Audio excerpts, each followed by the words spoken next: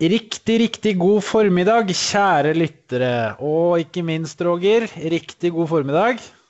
Takk for det. Du vet, I dag er jo en spesiell dag for min del. Jeg har, på, tatt på meg Berkshire hettegenser, for eh, det er litt av eh, temaet i dagens episode.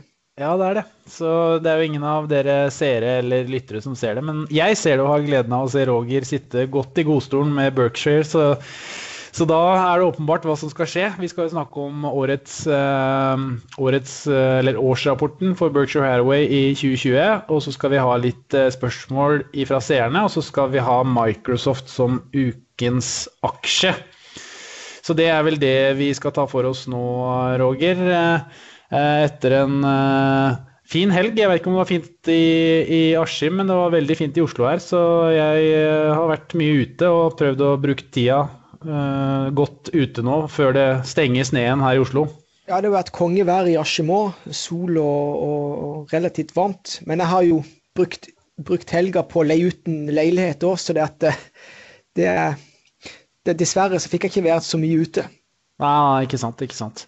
Og så må man jo nevne, da, Roger, jeg, har jo blitt, jeg er jo Nordnetts selvutnevnte golfekspert. Viktor Hovland, for en mann, altså. For en mann! Ja, jeg, det, det jo, det, jeg, spiller jo ikke golf. Jeg har jo tatt grønt kortkurs for noen år tilbake. Og, og, jeg blir jo inspirert av Så jeg følger jo litt med pga. du snakker så mye om golf. Så jeg fikk jo med meg at han gjorde Han holder et høyt nivå, han Viktor Hovland, tross, tross, alderen. Ja, ekstremt. ekstremt. Så dette blir, det blir ekstremt morsomt å følge videre. Så det anbefaler jeg alle lyttere og seere også å begynne å kikke på golf, og ikke minst spille golf når den tida den tida kommer. Det er jo faktisk også koronavennlig, så det, det er positivt. Ja. Mm. Bra, Roger. Men skal vi ikke bare hive oss inn i det, da? Da begynner vi rett på Warren Buffett sitt aksjonærbrev. Og for de som følger oss på YouTube, så eh, har du bl.a. Roger lagt ut link til det under posten til dagens eh, markedspuls på din eh, Twitter. Så det er det jeg viser fram her da, til seerne på YouTube. Dette kjente årsbrevet. da, og hvis man skal ta en litt sånn innledning, så ser man jo her i innholdsfortegnelsen egentlig årene helt fra 1965 og fram til 2020, og hvordan Berkshire har gjort det, og ja, eh, hvordan SMP har gjort det. Og hvis man skal dra, ta grove slutninger, så har de i snitt da, hatt en avkastning på 20% på Berkshire-aksjen mot SMP som har 10,2, så de har dobbel avkastning siden 1965, da, som må sies å være meget pent, Roger. Ja, Det som er greia, denne her statistikken, det er jo ingen som uh, har tilsvarende statistikk. For det første så er det jo ingen som har holdt på så lenge, eller hele livet sitt, med som profesjonell investor. Det er mange, det er mange kjente forvaltere der ute. Jeg, jeg regner jo, altså helt oppriktig, Warren Buffett er jo en forvalter. Uh, han er en som forvalter uh, Eh, investorenes penger i bunn og grunn gratis. Han tar 100 000 dollar i året for å være både CEO og, eh, og, og, eh, og chairman. Og det samme gjør jo Charlie Munger. Sånn at, sånn at Å sammenligne med SMP, det er jo i bunn og grunn det globale indeksfondet. Det er jo for så vidt gratis. Men her, siden 1965, så har Berkshire og Buffett og de, de har gjort det dobbelt så bra som som markedet generelt. Så det er jo som yardstikken som de alltid snakker om. Eh, det er klart at eh, med årene som har gått, så har jo Berkshire blitt, veldig, blitt veldig svært. Sånn at det blir av natur blir det vanskeligere og vanskeligere å opprettholde den differansen på 10 den er, Det er i bunn og grunn umulig. Men, men likevel, eh, her er det mange investorer som har vært med i tiår på tiår og vært der på den reisen og, og har blitt eh, ikke bare multimillionær, men òg eh, enkelte av, av eh, investorene har blitt multimilliardærer i hop med Warren Buffett. Så det er jo en det er jo enestående track record.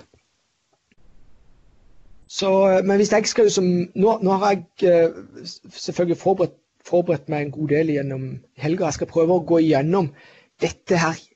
Jeg, vil også tippe er verdens mest kjente eh, aksjonærbrev. Og, eh, og, det slippes jo da i, eh, i forbindelse med årsrapporten. Og det, opp, dette er jo som bakgrunnsmateriale til eh, neste happening i Berkshire. Det er jo det som skjer i mai hvert år, hvor de har denne generalforsamlinga borte i Omaha. Mm. Så, eh, så liksom dette er litt av eh, bak, bakgrunnsmaterialet for det.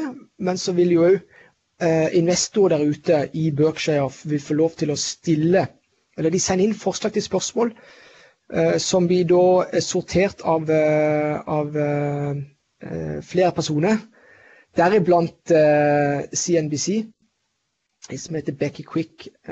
og så og, og, så vil jo da Buffett og Munger svare på et utvalg av disse spørsmålene. Og de sitter jo i flere timer på det. Så, det, det to, så for min del så er det jo to viktigste happeninger. Det er dette aksjonærbrevet, og så er det jo da det påfølgende møtet i mai. Så det blir jo 1. mai i år. Mm. Eh, det der årsmøtet skal, skal skje. Og det streames for øvrig. Ja, og, og hva skulle dere si, Roger, at dette brevet er jo, det ligger jo som sagt inne på din YouTube uh, Nei, unnskyld, din uh, Facebook uh, Twitter. Twitter, unnskyld, Twitter-kanal. Så for de som ønsker, så kan de også finne dette brevet her da via din side, eller søke det opp selv. Det er jo da 14 sider, ser jeg her, med tettpakket med informasjon. Og det, som du sier, så skal du prøve Eh, og har forberedt deg på å kronologisk gå gjennom mm. egentlig del for del nå. Da. Så vi kan jo egentlig bare begynne å kjøre i gang, Roger. Ja, og så er det jo viktig, altså Disse aksjonærbrevene de ligger jo tilgjengelig på, på, på Berkshire sin hjemmeside. Eh, hemmeligheten med de er at dette, dette, er brev hvor du som leser vil lære enormt mye. Warren Buffett eh, har jo blitt, eh, flere ganger blitt spurt om hva han ønsker å bli huska som. Og han har jo sagt at han ønsker å bli huska som en god lærer. En læremester. Og eh, det er litt av bakgrunnen her. Eh, her prøver Buffett å lære om, om eh, grunnprinsippene og filosofien bak Berkshire. Så jeg skal prøve å få fram disse her læringspunktene for hvert, hvert, hvert kapittel eller hvert avsnitt. Så la oss eh, starte ifra, ifra, toppen. Og det som eh, kommer fram der, det er jo hvor mye tjente Berkshire i fjoråret. Og det var 42,5 milliarder eh, dollar i 2020. Det som er viktig her, altså det tallet der, det er basert på regnskapsprinsippene. Og det forteller egentlig ikke den riktige sannheten. Den riktige sannheten er jo linka til det som kalles for operating earnings, og de var på 21,9 milliarder dollar. De var for øvrig 7% ned i forhold til 2019. Så det har vært, den impacten Berkshire har opplevd pga. pandemien. da. Uh, resten da uh, skyldes jo andre effekter, bl.a. Uh, 4,9 milliarder dollar. Det har vært i at de har tatt gevinst. De har solgt eh, aksjeposter som har gitt gevinst på 4,9 milliarder dollar. Og så den største posten den er på 26,7 milliarder dollar, og den skyldes bare kursendringer i aksjeporteføljen. Og den største eh, posten i deres aksjeportefølje, det er jo de eh, beholdning i Apple. De eier over 5% av Apple, og det utgjør rundt jeg tror det er 130 milliarder dollar i markedsverdi. Også den siste posten, som eh, til syvende og sist ender opp, gjør at dette blir 42,5 milliarder dollar i 2020. Det var 11 milliarder dollar i nedskriving. Og det er litt viktig. Eh, for eh, det de fortsetter med i dette aksjonærbrevet, det er å fortelle hva skyldes denne nedskrivninga på 11 milliarder dollar. Og den skyldes et kjøp de gjorde i 2016. Det var et kjøp, eh, det vi kaller for et gigantkjøp. De kjøpte et selskap som heter Precision Cast Parts. Og de er jo en betydelig underleverandør til flyindustrien. Så de har jo i bunn og grunn moat knytta til at de tjenestene eller varene som de leverer til flyindustrien, det, det, er det ingen som matcher de på.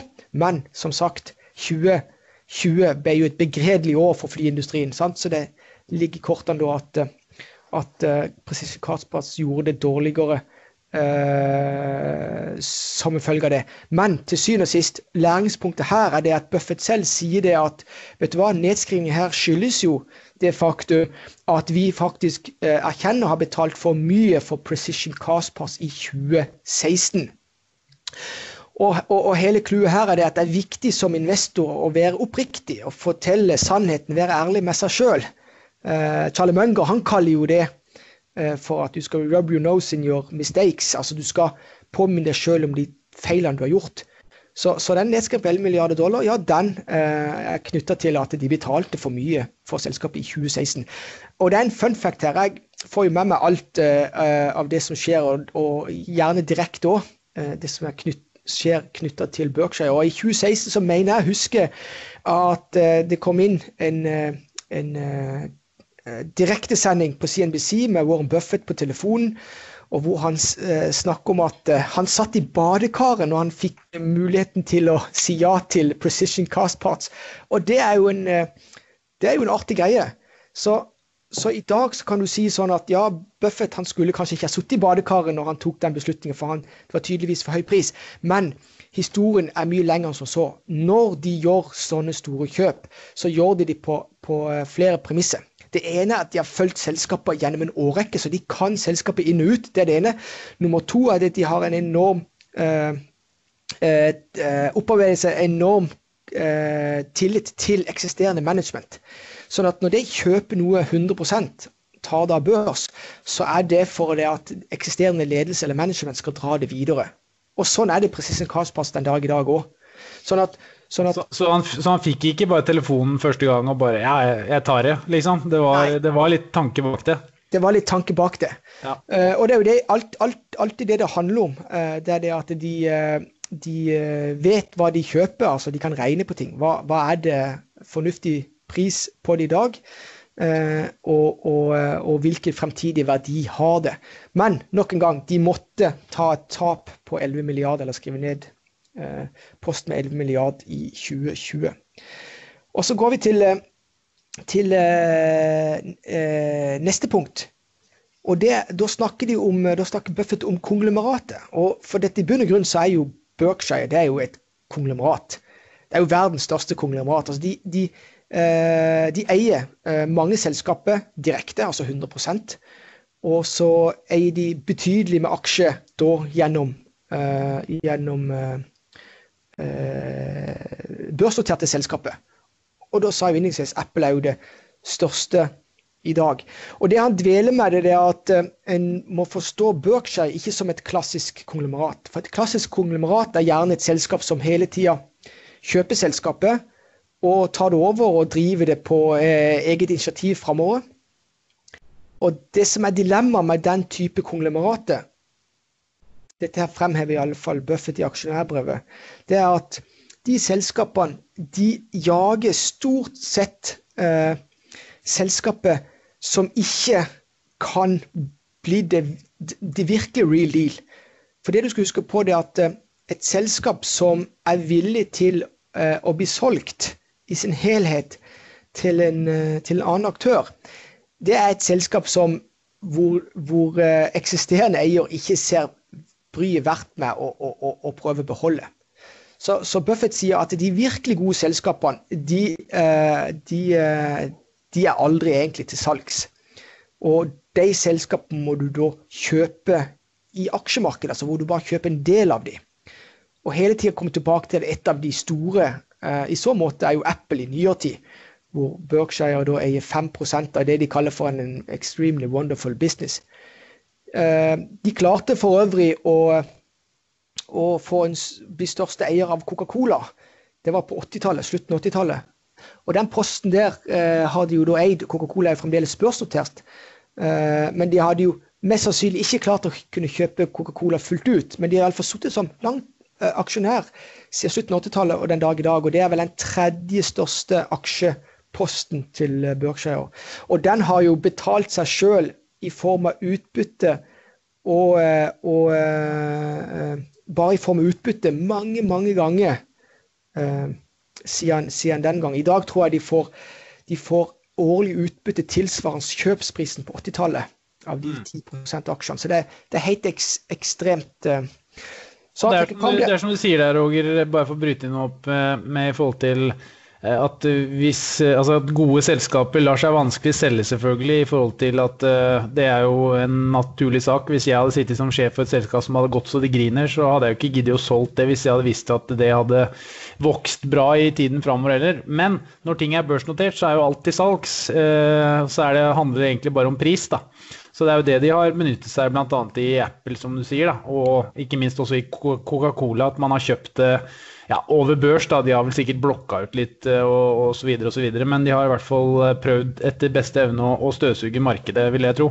Ja, når de bestemmer seg, dette er jo en sånn et læringspunkt. altså Når de først bestemmer seg, det er gjort en ekstremt grundig eh, analyse i bånn.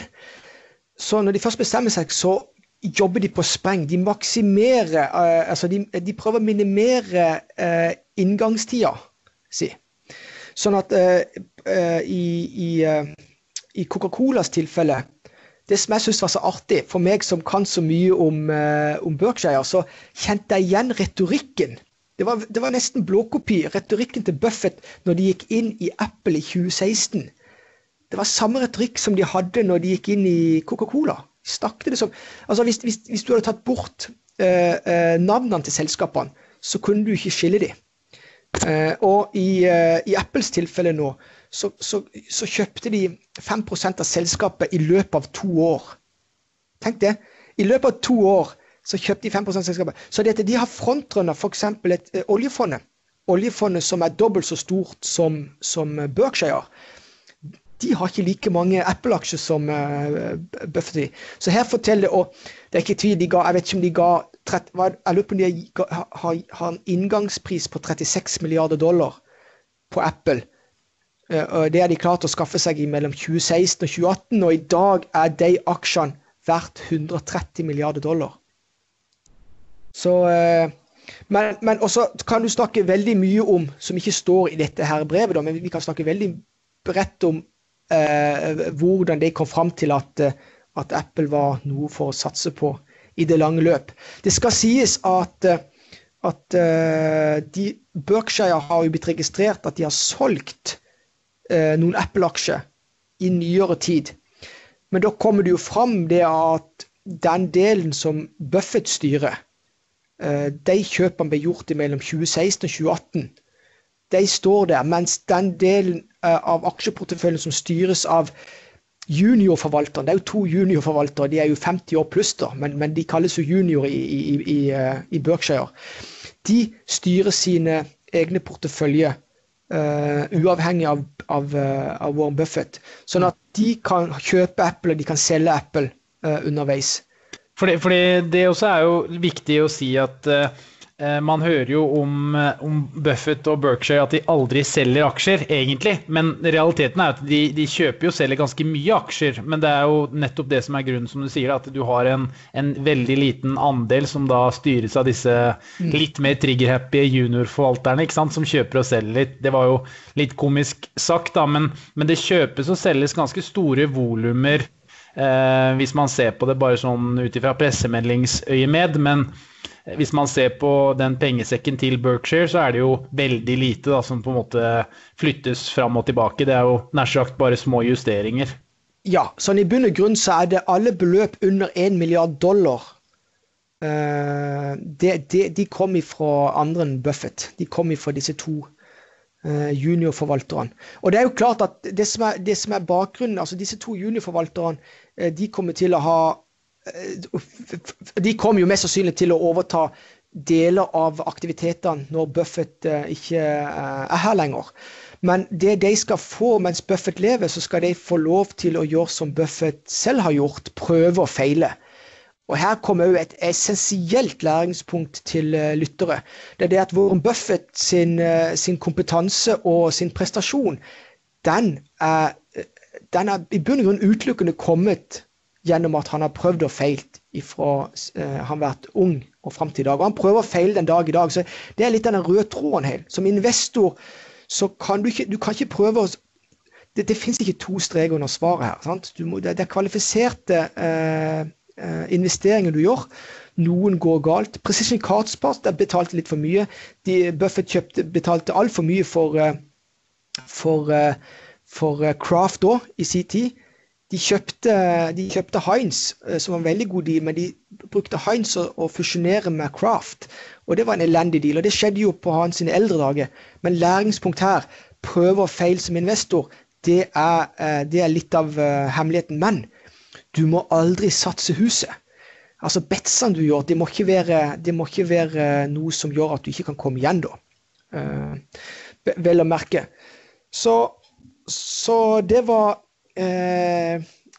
det var det punktet som gikk på Når vi kommer til, til uh, konglomeratet. Bare for å komme tilbake til liksom, mitt, mitt, punkt nummer to her. Det er det at Buffett og Berkshire de har bygd opp et konglomerat, men det er ikke som et klassisk, tradisjonelt konglomerat. Da kan du ta og stille for spørsmål. Vi snakket jo om Orkla, f.eks.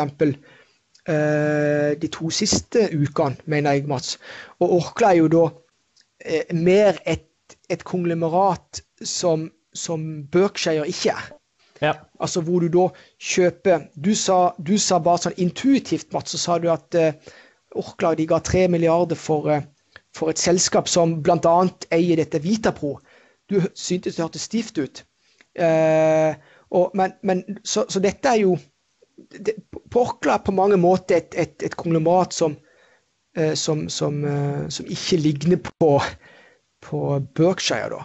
Mm. Kan, eh, det jeg registrerte med Orkla på sin Q4-rapport, og da snakket jo han nye sjefen om Prøvde å fremheve Jotun. Jotun er jo et av de råeste innehaverne til, eh, til Orkla. Men der er de minoritetsaksjene. Altså, det vil si at de eier vel jeg tror det er 42 av aksjene. Og så har familien, altså arvingene til Jotun, de kontrollerer det resterende. Orkla har hatt en ekstrem eh, ambisjon om å prøve å kjøpe hele Jotun. Men, men, nok en gang så er det viktig det at eh, det er ikke Hovedgrunnen, kanskje hovedgrunnen ligger til det at disse selskapene de er ikke til salgs fordi de er så bra. Mm. Eh, Jotun er heller ikke børsnotert, og sikkert, de, har sikkert, de, har sikkert, sine grunner til det også. Nei da, men altså, det er ikke børsnotert, men det er, det er et så kvalitetsselskap. At, ja, absolutt. At, ja, men du er, ikke, du er ikke keen på å børsnotere det heller, egentlig, for da må du jo implisitt selge deg litt ned. da. Så ja. det er jo åpenbart et kvalitetstegn, tenker jeg da. Så, eh, så det var jo som punkt nummer to, så å dvele med, med den konglomeratbiten. Så, så hele clouet her, bare for å summere opp det, det er det at uh, dette punktet innleder det at de virkelige kvalitetsselskapene jo Buffett og de, de ligger i, i uh, De er børsnotert. De er børsnotert, og det som er med børsnoterte selskaper, de er store. altså De er nummer én globalt, gjerne. Og et, et selskap som ikke er børsnotert, de, de, har i bunn og grunn ikke nubbesjanse til å bli nummer én globalt. Og det er fordi at du har nødt til å ha med deg medinvestorer men, for å kunne ha til nødvendig kapital for å kunne konkurrere på det virkelig store. Jeg vet ikke, jeg har jo ofte sagt det, du har sikkert lagt merke til det, Mats, at i, når jeg setter sammen mine porteføljer, så er det jo mange gode selskaper der ute som jeg gjerne skulle hatt med, men de er ikke store nok. Mm. Og det du skal huske på, det er at det er en brytningsfase for at du skal liksom være et godt nisjeselskap. Og ta for eksempel, eh, du har, Bouvet har vært et sånt type selskap. Men hvis de da skulle plutselig bli altså vesentlig større, og de klarer å opprettholde eh, samme vekst i det vi kaller for intrinsic value. Ikke bare topplinjevekst, men at de beskytter sine marginer. Plutselig da så kan du se at dette vet du hva, Bouvet det har noe med seg at de kan ta neste steget ut. Mm. Så, så, det er jo sånn viktig. Størrelse betyr noe. Og, og, eh, da må i tilfelle Bouvet da bli i hvert fall et nordisk selskap, for å si det på den måten. Nå er det jo, de er jo for så vidt inne i, i Norden på, på, mange måter, men ikke i, i like stor presence da, som, som, det kreves for å bli et type Accenture, da, for å bruke det som et eksempel. Ja, så jeg vil jo si som et selskap som Tomra f.eks., det er akkurat stort nok, vil jeg si. Altså ikke akkurat, det er jo De har kommet over den kneika eh, til å bli et interessant selskap for, for å kunne liksom, opprettholde og, og, og, eller beholde sin liksom, nummer én-posisjon eh, globalt. Og ikke minst det største selskapet så, eller i, i, min verden, da, nå nevner jeg selskapet som jeg selv eier, da, det er jo Movi. Så Movi er jo òg et klassisk typisk selskap som jeg ikke i tvil om eh, Buffett eh, kunne ha eid. da. Eh, dog, nå er jo de sin hoved, hovedkompetanse den er jo knytta til eh, amerikanske selskapet. Du får eh, prøve å få ringt den, Roger, og så spørre om Uh, om han er hypp på noe Salmon, han godeste Buffett, det hadde vært noe, tror jeg. Jeg tror det kunne vært en kjempedeal, jeg, faktisk. For han, han, liker jo godt konsumselskaper og selskaper som er innenfor en gitt nisje med ganske høye marginer og, og har vekstimpulser fram i tid. da. Ja, og hvis du ser på magien, eh, underliggende magien altså nå, nå, snakker jeg på magien gjennom sykkel. altså nå, nå, ser jeg på hva de klarer å ha i, i, i bør kunne ha i magien eh, over 10-11 år. Så ligger den på rundt 10% for Movi. Men hvis de da klarer å ta eh, sitt eh, sin business inn i dette restaurantmarkedet. Eh, altså sånn som så, kanskje bli en slags eh, mini-McDonald's, som ja, jeg har jo brukt det ordet til, eh, til det kjedsommelige, men hvis vi klarer det, så i bunn og grunn så får du eh, et selskap som dobler sin margin over natta. Ja, og klarer å fullintegreres i, i verdikjeden, for det, ja, ja. det, har de jo begynt på. Men dra ut de ekstra, kall det merverdiene av å, å ha fullintegrert verdikjede også, da. Der også er det jo en del fett i systemet igjen, da, før man uh, virkelig kan dra ordentlig, ordentlig nytte av det. Ja, for det her er, her er trikset. Altså, selskap som er blitt så stort, og det vokser år inn og år ut altså Når du da prøver å dra i iallfall linjalen over flere år, hvis de da plutselig kan tikke opp sin margin litt, litt, her og litt der og da er eksempel, Vi skal jo snakke om Microsoft eh, som i ukens aksje i fem minutter på slutten av sendinga. Microsoft har gjort det.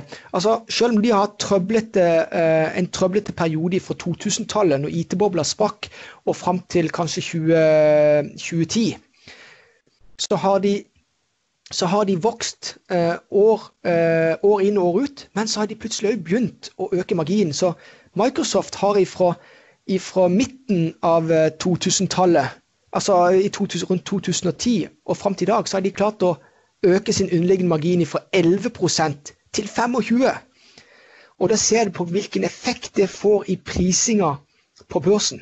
Så, så, her er det snakk om at eh, nøkkel nummer én, altså at du har et produkt som stadig kan vokse. Men det viktigste her til syvende og sist, det er marginforbedringer.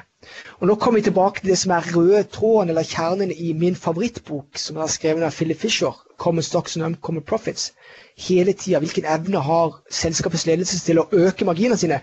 Og det mener jeg i oppdrettsbransjen så er det jo, eh, så er det jo, eh, så er det jo Movi som har potensialet til virkelig å komme på et, et eget nivå, mens veldig mange andre av de mindre eh, produsentene, de vil komme i sånn en skvis. De må bare sørge for å prøve å bli best mulig på det operasjonelle, eh, bare for selv å produsere denne, denne laksen. Mm. Og bare for å ta det over, Roger. Jeg skrev jo en sånn eh, 'Hvordan verdsette et selskap' på, på bloggen, og da brukte jeg et selskap som jeg er, da, Betson, eh, som, eh, som, eksempel. Men eh, det er sikkert mange lyttere som, som, hører om marginer og lurer på hvorfor de er så viktig. Men marginer, veldig enkelt forklart, er jo egentlig du bruker x antall kroner på en innsatsfaktor for å skape et produkt, enten teknologisk eller fysisk. Og så er marginen det du bruker på å produsere det produktet, kontra hva du tar betalt. Så si du betaler ti kroner for å framstille et produkt, og selger det for tolv, så er marginen din to kroner. Så det er bare sånn enkelt forklart marginer av hvorfor det er så viktig. Da.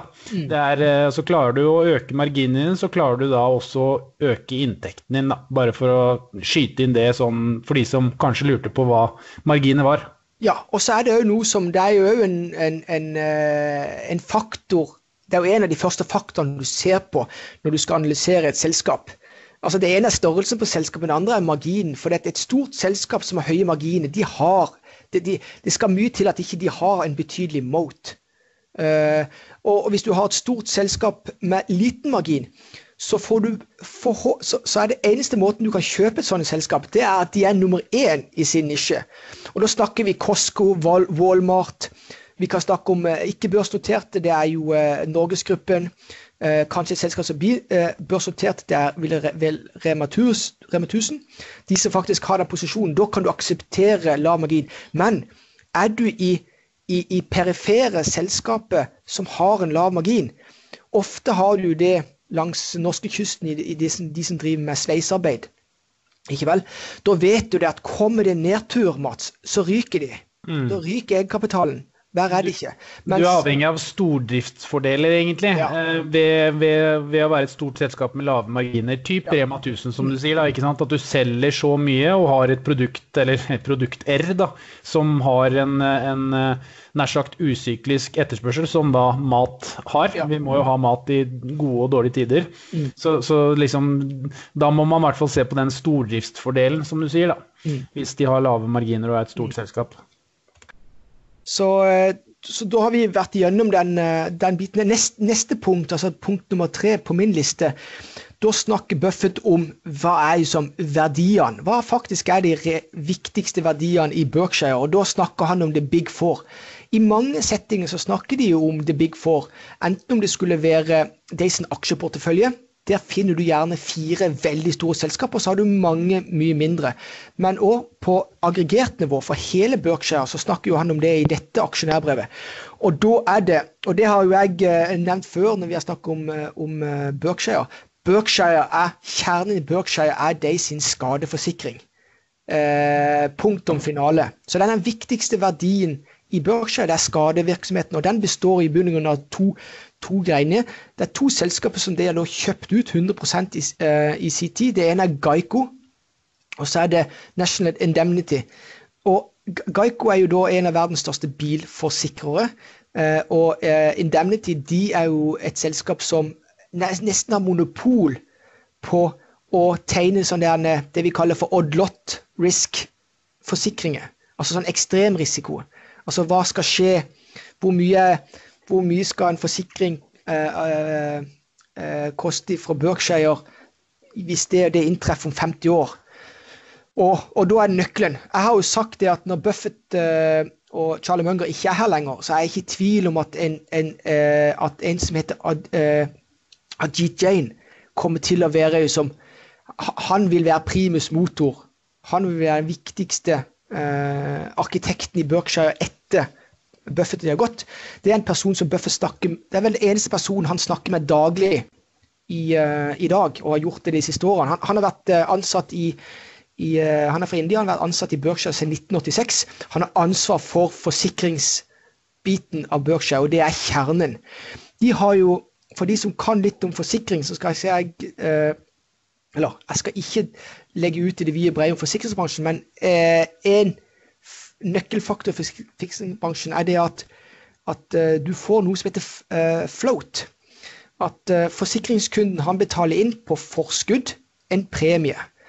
Og i løpet av ett år så skal jo et, et forsikringsselskap som ikke er veldig godt, skal jo da de betale tilbake alle innbetalte premier tilbake til, til premieholder fordi at det er inntruffet en eller annen ulykke. Et selskap som klarer å sitte igjen med en mer enn det de får innbetalt i premie i et år, de driver jo god eh, forsikringsvirksomhet. Og det er den såkalte combined ratioen som, ja. eh, som er veld, veldig viktig for de som ønsker å se litt på forsikringsselskaper. Da, så er det en ekstremt viktig, viktig, Et viktig parameter er jo da combined ratio, så det er jo bare å, å lete etter det. Ja, så, og Berkshire har får inn i forsikringspremie i året for de 140 milliarder dollar. Så det de i bunn og grunn gjør, Berkshire sitter da med 140 milliarder dollar uh, i det vi kaller for gratispenger. For dette, det er jo ingen rente på dem, men det er innbetaling av forskudd på fremtidig utbetaling til, til, til skade. da. Uh, og det er jo denne floaten, eller dette uh, beløpet, som, som, de kan da bruke på å kjøpe ja, stor aksjepost i Apple eller Coca-Cola eller ja. Så de har en, de har en enorm float, gratispenger. Nå er det jo sånn at i dag er pengene i bunn og grunn gratis, for rentene er så lave. Men over tid så må du anta at renta går opp og ned. Så uh, når rentene er veldig høye, så betyr jo denne floaten atskillig mer. Så da har den enda mer verdi for, for Berkshire. Men i alle fall, uh, de har uh, enormt tilgang på gratiskapital, som, som, gjør at de som et konglomerat har enorme frie tøyler på å ta investeringer på kort, uh, på kort beslutning. Et selskap, ta f.eks. Gjensidige her i Norge, eller de rene forsikringsselskapene, de er i bunn og grunn båndlagt det regulatoriske. For de har ikke noen andre inntektskilder, så de må stort sett investere denne floaten i rentepapiret. Sikre rentepapiret, Så det, det genererer nesten ikke noe avkastning. Mens Berkshire er jo, er jo mer fristilt til, til, hva de bruker det til, pga. at de har så enormt mye cashflow fra andre deler av, av, av sin virksomhet. Og at de er registrert også som et investeringsselskap. Det kan godt være at en del avdelinger er det innenfor forsikring også, da, men det er jo litt lover og regler her som jeg ikke skal ja. bi meg ut på, men, men, som gjør at man, som du sier, er nødt til å ta storparten av pengene, i hvert fall i, i enten høyrente eller statsobligasjoner osv. Nettopp, og vi kjenner til det blant i, i Europa. Det er jo mange av de som, den type investorer som må, som må faktisk betale for ja, negativ avkastning på uh, sine obligasjoner. Så dette, uh, husk det, i 53 år har dette vært kjernen i Berkshire. Det er uh, forsikringsbiten. Og da er det jo to selskaper som de eier 100% Og der er det Ajit Jain som er, som, er, sjef. nummer to på lista så nummer to og nummer tre er nokså like, men nummer, nummer to er, er Burlington Norden. De kjøpte i sin tid uh, det som i dag er USAs største togselskap. Det er et, det er et såkalt Altså, det er et ekstremt uh, kapitalintensivt selskap. Uh, og, og togbransjen har vært igjennom enorm opptur og nedturer, konkurs og det ene i sine 150 år historikk. Men Berkshire har kommet inn i en situasjon hvor i bunn og grunn tog togsektoren i eh, USA den defineres av fire spillere, og Berkshire de har den største i. Det er Burlington Norden. Så her har de jo da i bunn og grunn ikke på mange måter monopollignende posisjon, men det koster enormt mye å holde dette i hevd, altså vedlikeholdet. Så her er det jo i bunn og grunn tynne marginer. Men de, pga. at det er så kapitalintensivt så ekstremt, så, så vil de ikke få konkurranse. Så, så, dette er jo da en eh, For Burlington, nei, for eh, Berkshire, gitt at dette er den andre største posten uh, i, uh, uh, i, Berkshire, så er dette en, et, et, en, gren som de får, eller et bein som de får enormt mye utbytte i, i løpet av året. Og det er jo litt av hemmeligheten. Hvis du som investor hvis du som investor bare sitter med en aksjeportefølje som det er bare vekstselskapet. Det, det, er ingen reell inntjening. Det er ikke inntjening som de i alle fall kan gi tilbake i utbytte til aksjonærene. Ja, da er du som en langsiktig investor prisgitt at dette ikke går til helsiken. Hvis du da har et selskap som òg vokser, men du òg får tilbake utbytte, så vil du hele tida kunne redisponere altså innsatsen din. Og det er litt av hemmeligheten. Så dette Berkshire kommer jo ikke til å selge Burlington Norden på et tidspunkt, men i løpet av den tida de har hatt de, Kanskje de dør med Berkshire, eh, for den saks skyld. Så vil de iallfall ha fått så mye utbytte at de har fått investering tilbake i bøtter og spann. På samme måte som de har gjort for Coca-Cola sin del. Så Burlington Norden, togselskapet, eh, kapitalintensivt all mass, men de har en betydelig mote. Mye eh, utbytte kommer derifra som de kan reinvestere i andre prosjekter.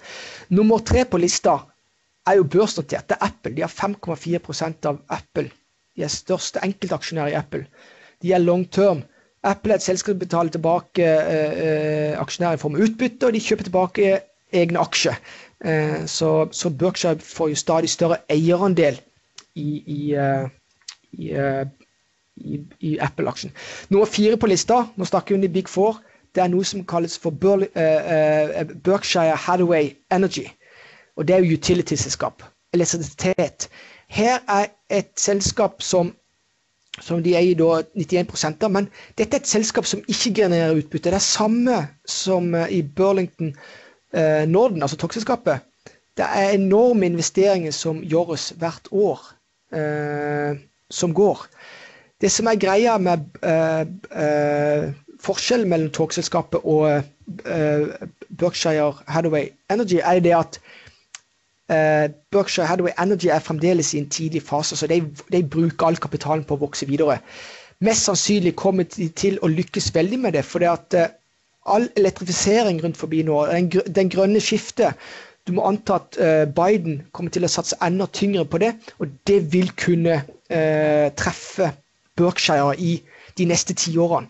Sånn at dette er en viktig dette er viktig selskap for, for Berkshire. fordi at her er en plass hvor de med sikkerhet kan faktisk øke fremtidig inntjeningsevne bare med å, å, eh, å reinvestere uh, alt det de tjener uh, år inn og år ut. Så det er det big four. Så det var jo et tema. Og, og, da kommer vi tilbake til det at når de snakker om big four, så er jo det ofte linka til hvor, hvor mye differensiert skal en portefølje være.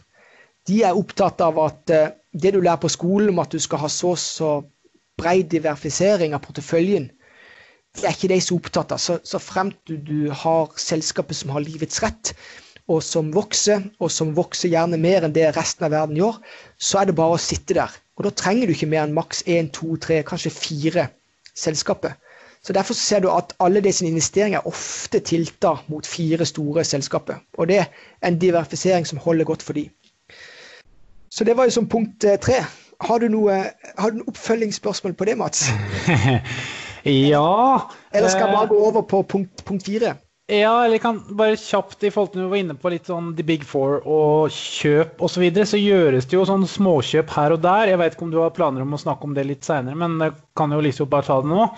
Så så jeg jo at et av de selskapene Berkshire gjorde litt comeback i, var jo bl.a. Chevron dette energiselskapet, eller olje, oljeselskapet, shale oil-selskapet. da. Så det, det, er jo en interessant eh, sak nå, at de har på en måte vektet seg litt opp i energien. For det har de jo ikke hatt på, på en ganske lang stund, egentlig.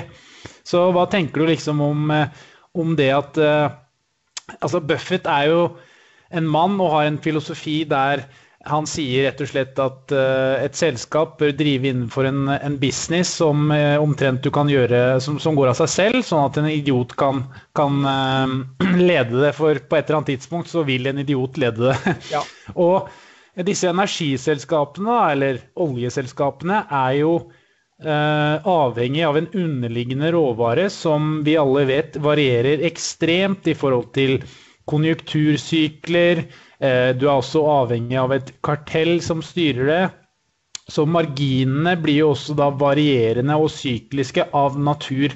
Men har han noen sånn klare takes på typisk energibransjen, eller er det egentlig bare en sånn overvekt-undervekt-strategi som eh, på en måte gjelder å, å skrape med seg noen noe ører her og der, hvis man eh, kan si at eh, Berkshire også er, har en, en, grad av kall det timing i, i, sin strategi også, da. For det første så er ikke de postene veldig store, så du må anta at de er linka til juniorforvalterne sine disponeringer. I alle fall så er det sånn når rentene stiger, dette er jo enkel matematikk, så, bio, eh, så eh, er jo en fordelaktig for sykliske selskaper. Så Chevron, og så har de kjøpt seg opp i Verizon nå. Eh, mm. så dette her er et syklisk jeg vil ikke kalle det bedt, men det er, dette er logikken ja. i det vi har sett nå, at verden skal, verdensøkonomien skal gjeninnhentes. Altså etter vi blir ferdig med pandemien.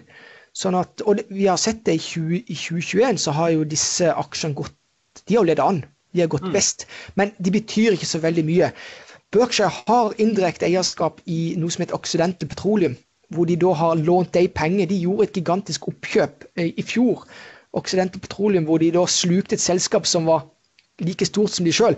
Det er ofte ikke lurt. Det er noe, det, er noe det første jeg ser på uh, i et selskap. Det ene var selvfølgelig marginene, som jeg sa innledningsvis, men jeg er òg veldig opptatt av hva slags M&A-historikk. Hva er det ledelsen driver med? Jeg liker ikke selskapet som prøver å sluke, sluke ting som er like stort som de. Uh, det, det, det, har ofte en lei tendens til å, til å gå, gå, dårlig. Men her har iallfall Occidental gjort det. Uh, og det var vel mar mar uh, Maraton som de, de, kjøpte. Og da brukte de uh, Da fikk de da fikk de Berkshire til å finansiere det oppkjøpet. Sånn at Berkshire får jo god, god rente på sånn en på, på, sånn en finansiering. Så det var basically en bånd fra Berkshire sin side? Altså ja, så de sitter jo på penger mot renter tilbake? Ja, de, men de sitter da pref, med preferanseaksje i Occidental. Ja, og Occidental har jo gått elendig eh, siden toppen, da. Mm. Eh, men Chevron, da, er jo eh, Vil jeg si at det kanskje er mer linka til eh, For det er så, såpass lite, i bunn og grunn. Og så er det linka til den sykliske delen av uh, markedet nå, som er i vinden. Taktisk allokering, basically, da, ja, egentlig. Eller så skal du ikke under, undervurdere uh, det som historisk ofte har vært realiteten. Det har vært enorme endringer i, uh, i ulike industrier. Og det er det jo. Enorm endring i olje, oljesektoren. Altså hvor du går ifra fossile uh, energikilder til, til, fornybare. Så er, til syvende og sist, altså den viktigste moten her for et selskap, det er jo evne til å hente kapital billigst mulig. Mm. Og, og, der er det gjerne de store oil majorsene som du må anta vil bli vinnerne på den grønne delen av, av framtida òg. Selv om at ikke de har vært first mover, altså ikke undervurder second movers med dype lommer. Eh, så, så, for jo høyere rentene går, Mats, jo eh, verre blir det selvfølgelig. Eh, du sa det jo så treffende i forrige episode. Det, det, koster, altså, det koster å vokse. Ja. Og, og, renta den dikterer hva, hva prisen er på den kapitalen du skal hente inn.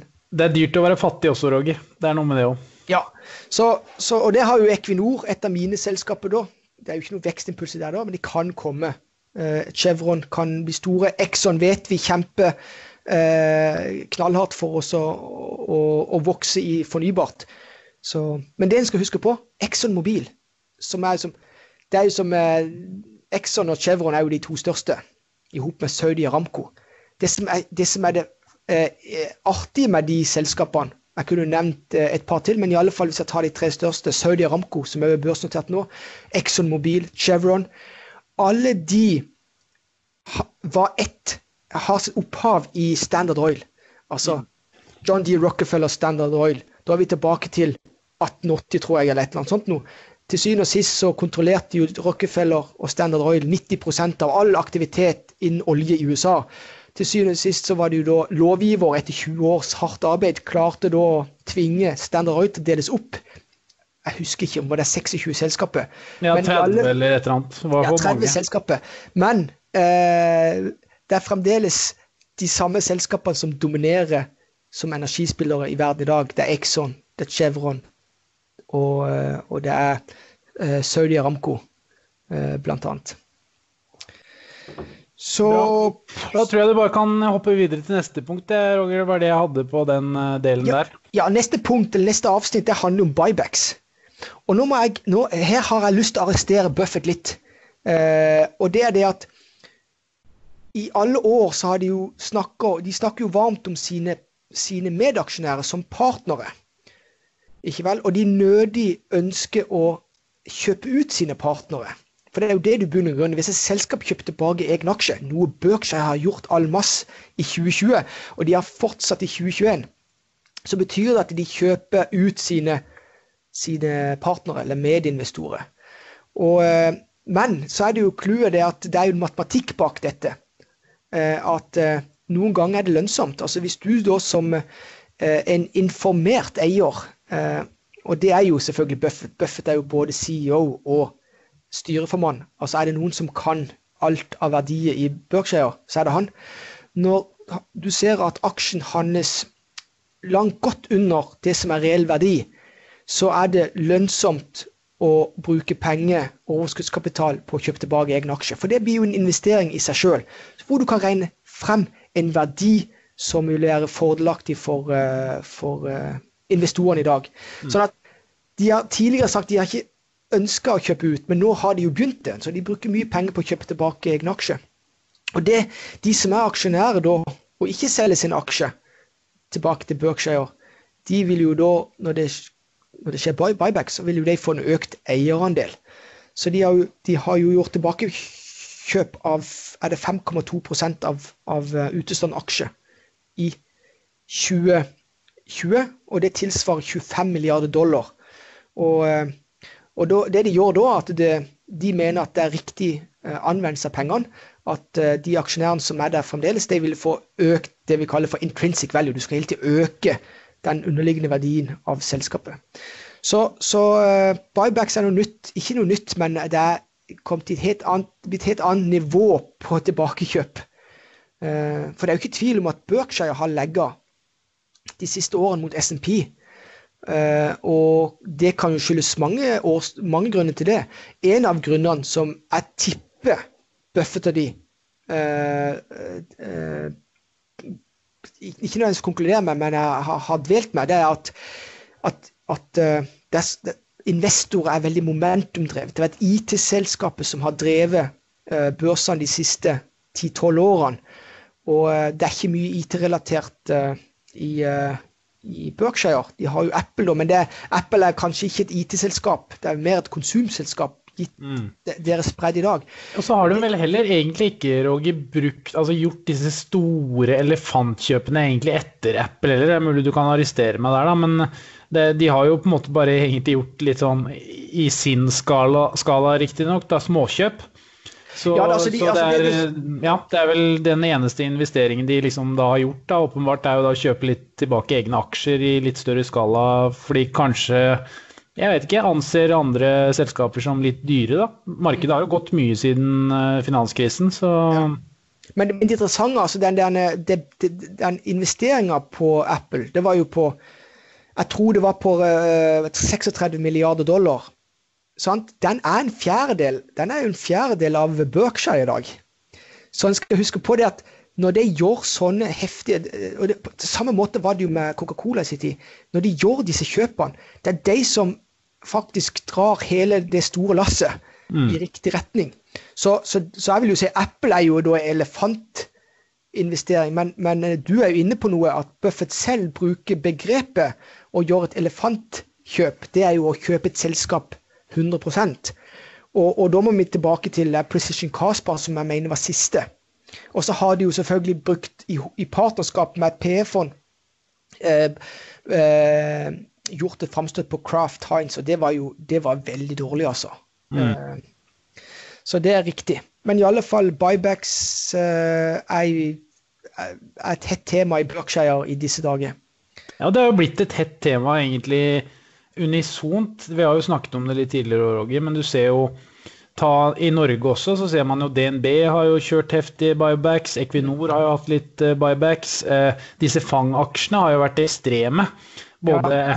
Apple, eh, Microsoft, eh, til dels Facebook osv. også. Og Netflix annonserte vel også å kjøpe tilbake aksjer nå. Så man har jo sett at det, jo, det er jo en amerikansk trend som egentlig har spredd seg til det brede markedet med å, å kjøpe, kjøpe, egne aksjer. og Det er jo to måter å se på det. da. Den ene måten er som du sier at det er en god investering. Den andre måten å se på det på er jo at du kan jo si det som så at selskapet ser jo åpenbart ikke mer lønnsomme investeringer enn å kjøpe tilbake egne aksjer, så hvor mye vekstimpulser er det igjen, liksom? Det, det, er jo flere måter å se ting på, da. Det jo, kommer helt an på hvordan du analyserer det. Ja, ok, nå kan jeg, jeg kan ta min take på det. Buybacks er jo Nå, nå, nå, toucher jeg noen av disse, te, flere av de temaene som jeg, som jeg prøver å få et, uh, få et oversikt over raskt når jeg ser på et uh, selskap. Buybacks òg er uh, en, en, viktig faktor, iallfall for en langsiktig investor. Uh, sant? Jeg har sagt størrelse, margin, buybacks.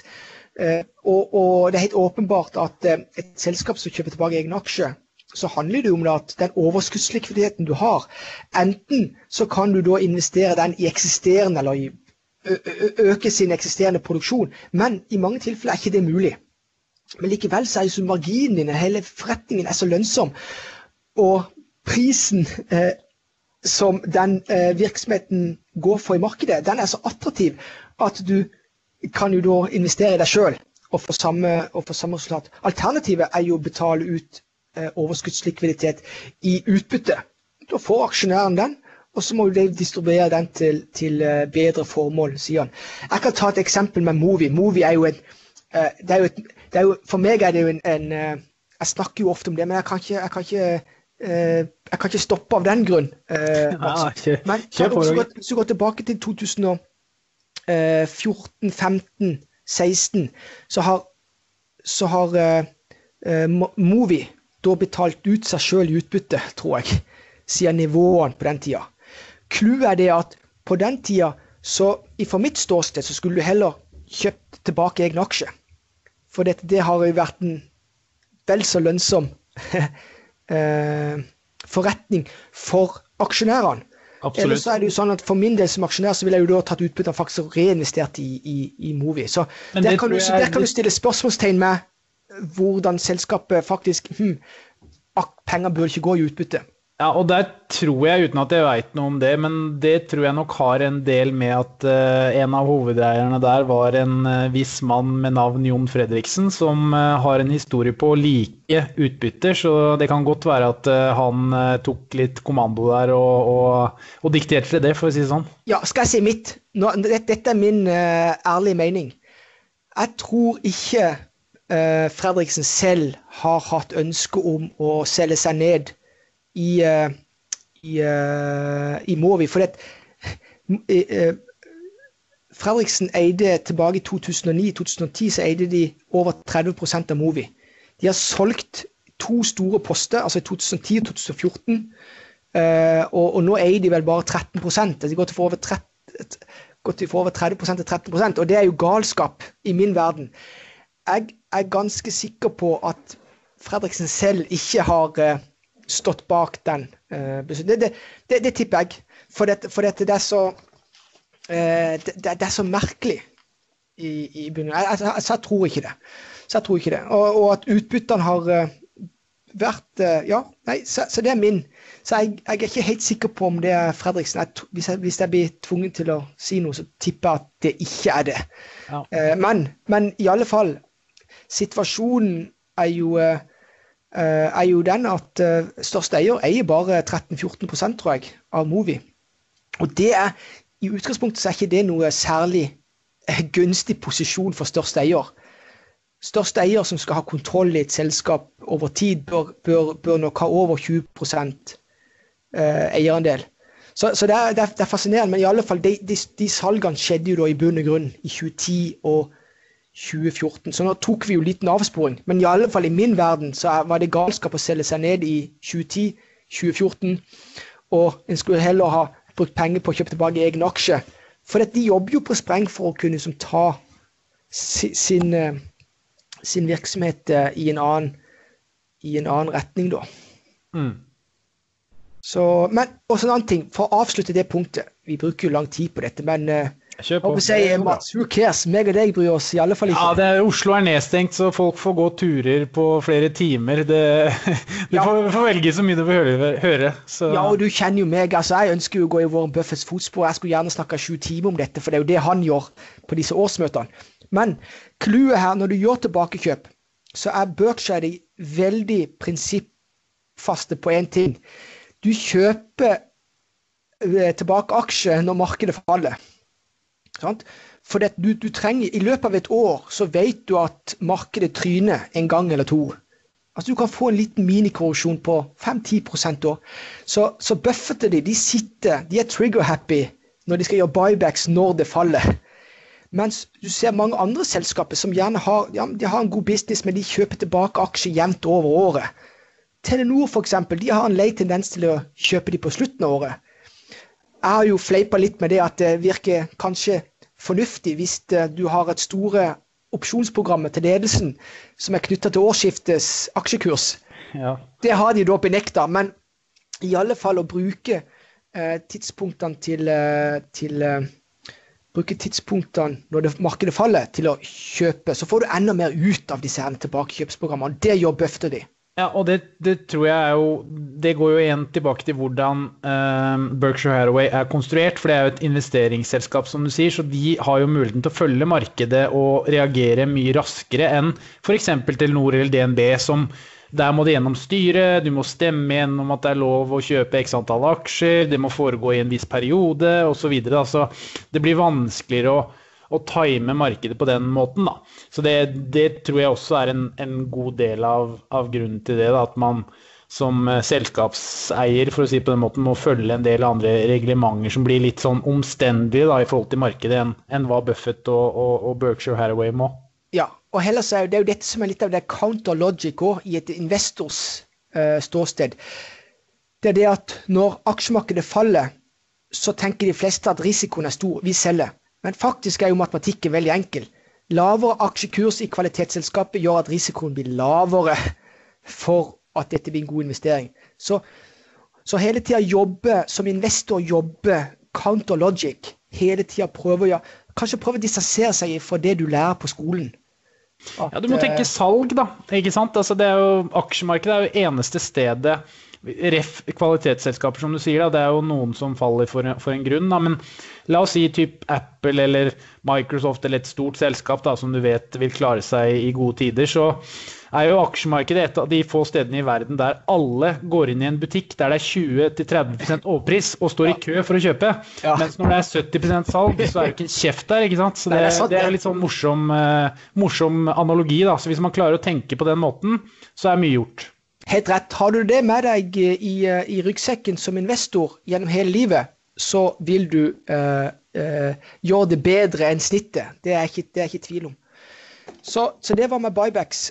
Neste punkt på eh, min plansje det går jo på dette med største innhav. Vi snakket jo om Big Four som altså akkumulert for selskapet. Da hadde vi skadeforsikring, Geico Indemnity, og så hadde vi Burlington uh, Norden, det er togselskapet, og så er det jo Apple, aksjeposten Apple, og så Berkshire Hathaway Energy.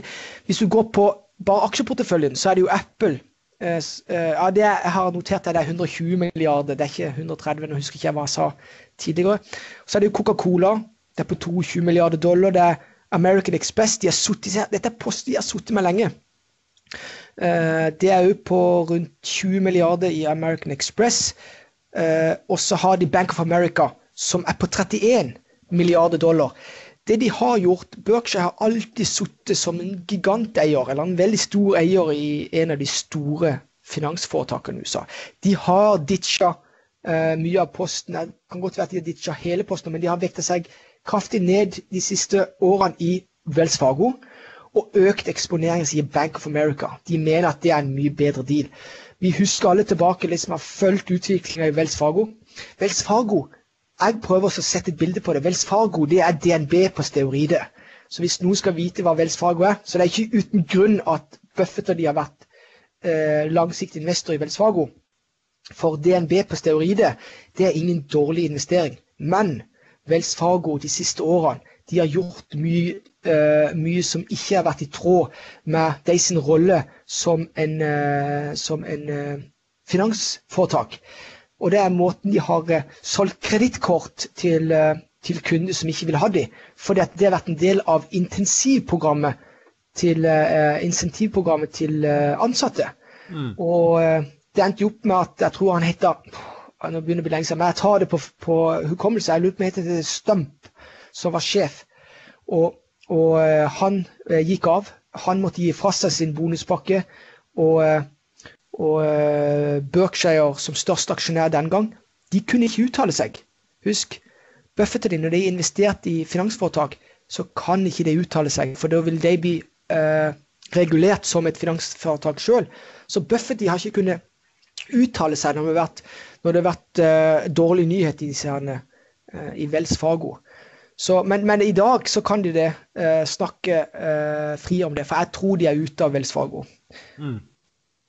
Så det er, sant? Så der er de uh, fire store postene, og så har de mange mindre poster.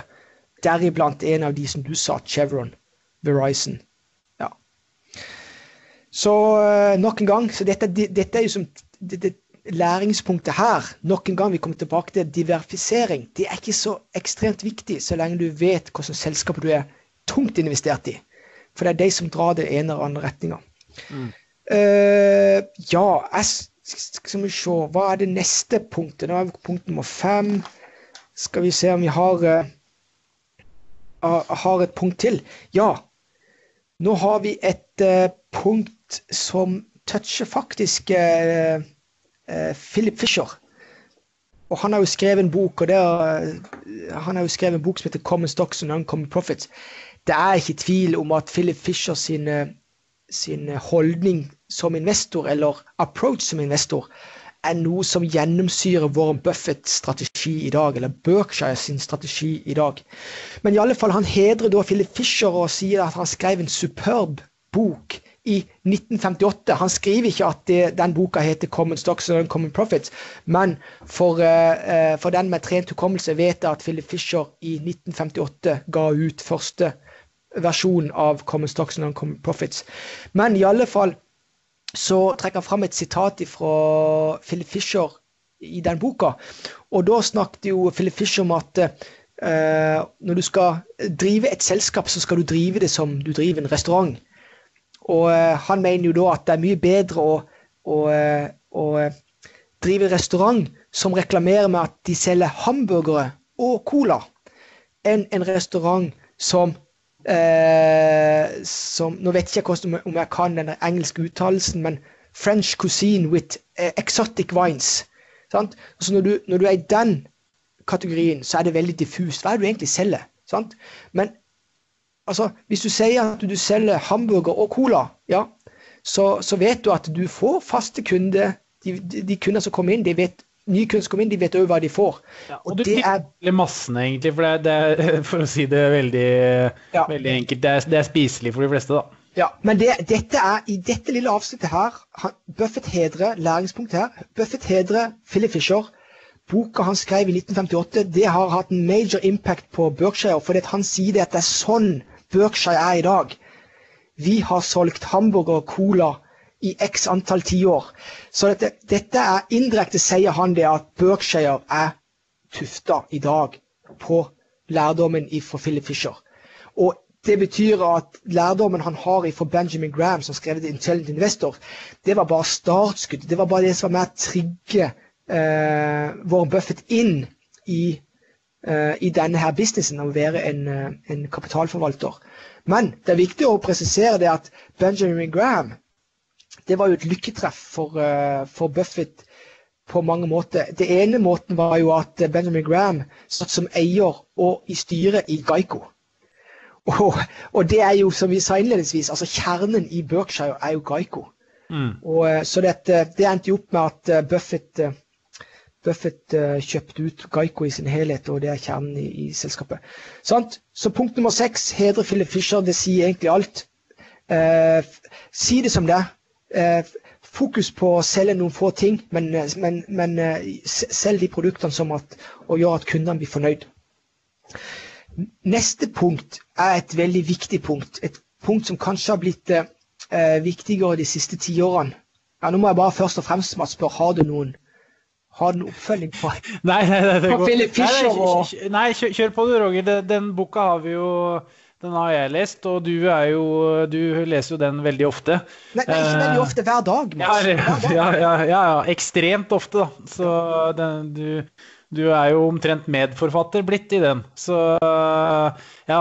Nei, øh, egentlig ikke, altså. Jeg syns det er interessant. Jeg, så jeg, er jo mer, jeg får jo førstehånds lytting, jeg. Egentlig. Så jeg bare, bare, bare snakk du, Roger. Det er bra, det. Herlig. Neste punkt på, på posten det er det å snakke om asset light businesses versus asset heavy businesses. Altså, ja, og det, og det, det, det, bare for å ta det, det er jo da Arne Ulland som eh, bl.a. har spurt litt om, om, det.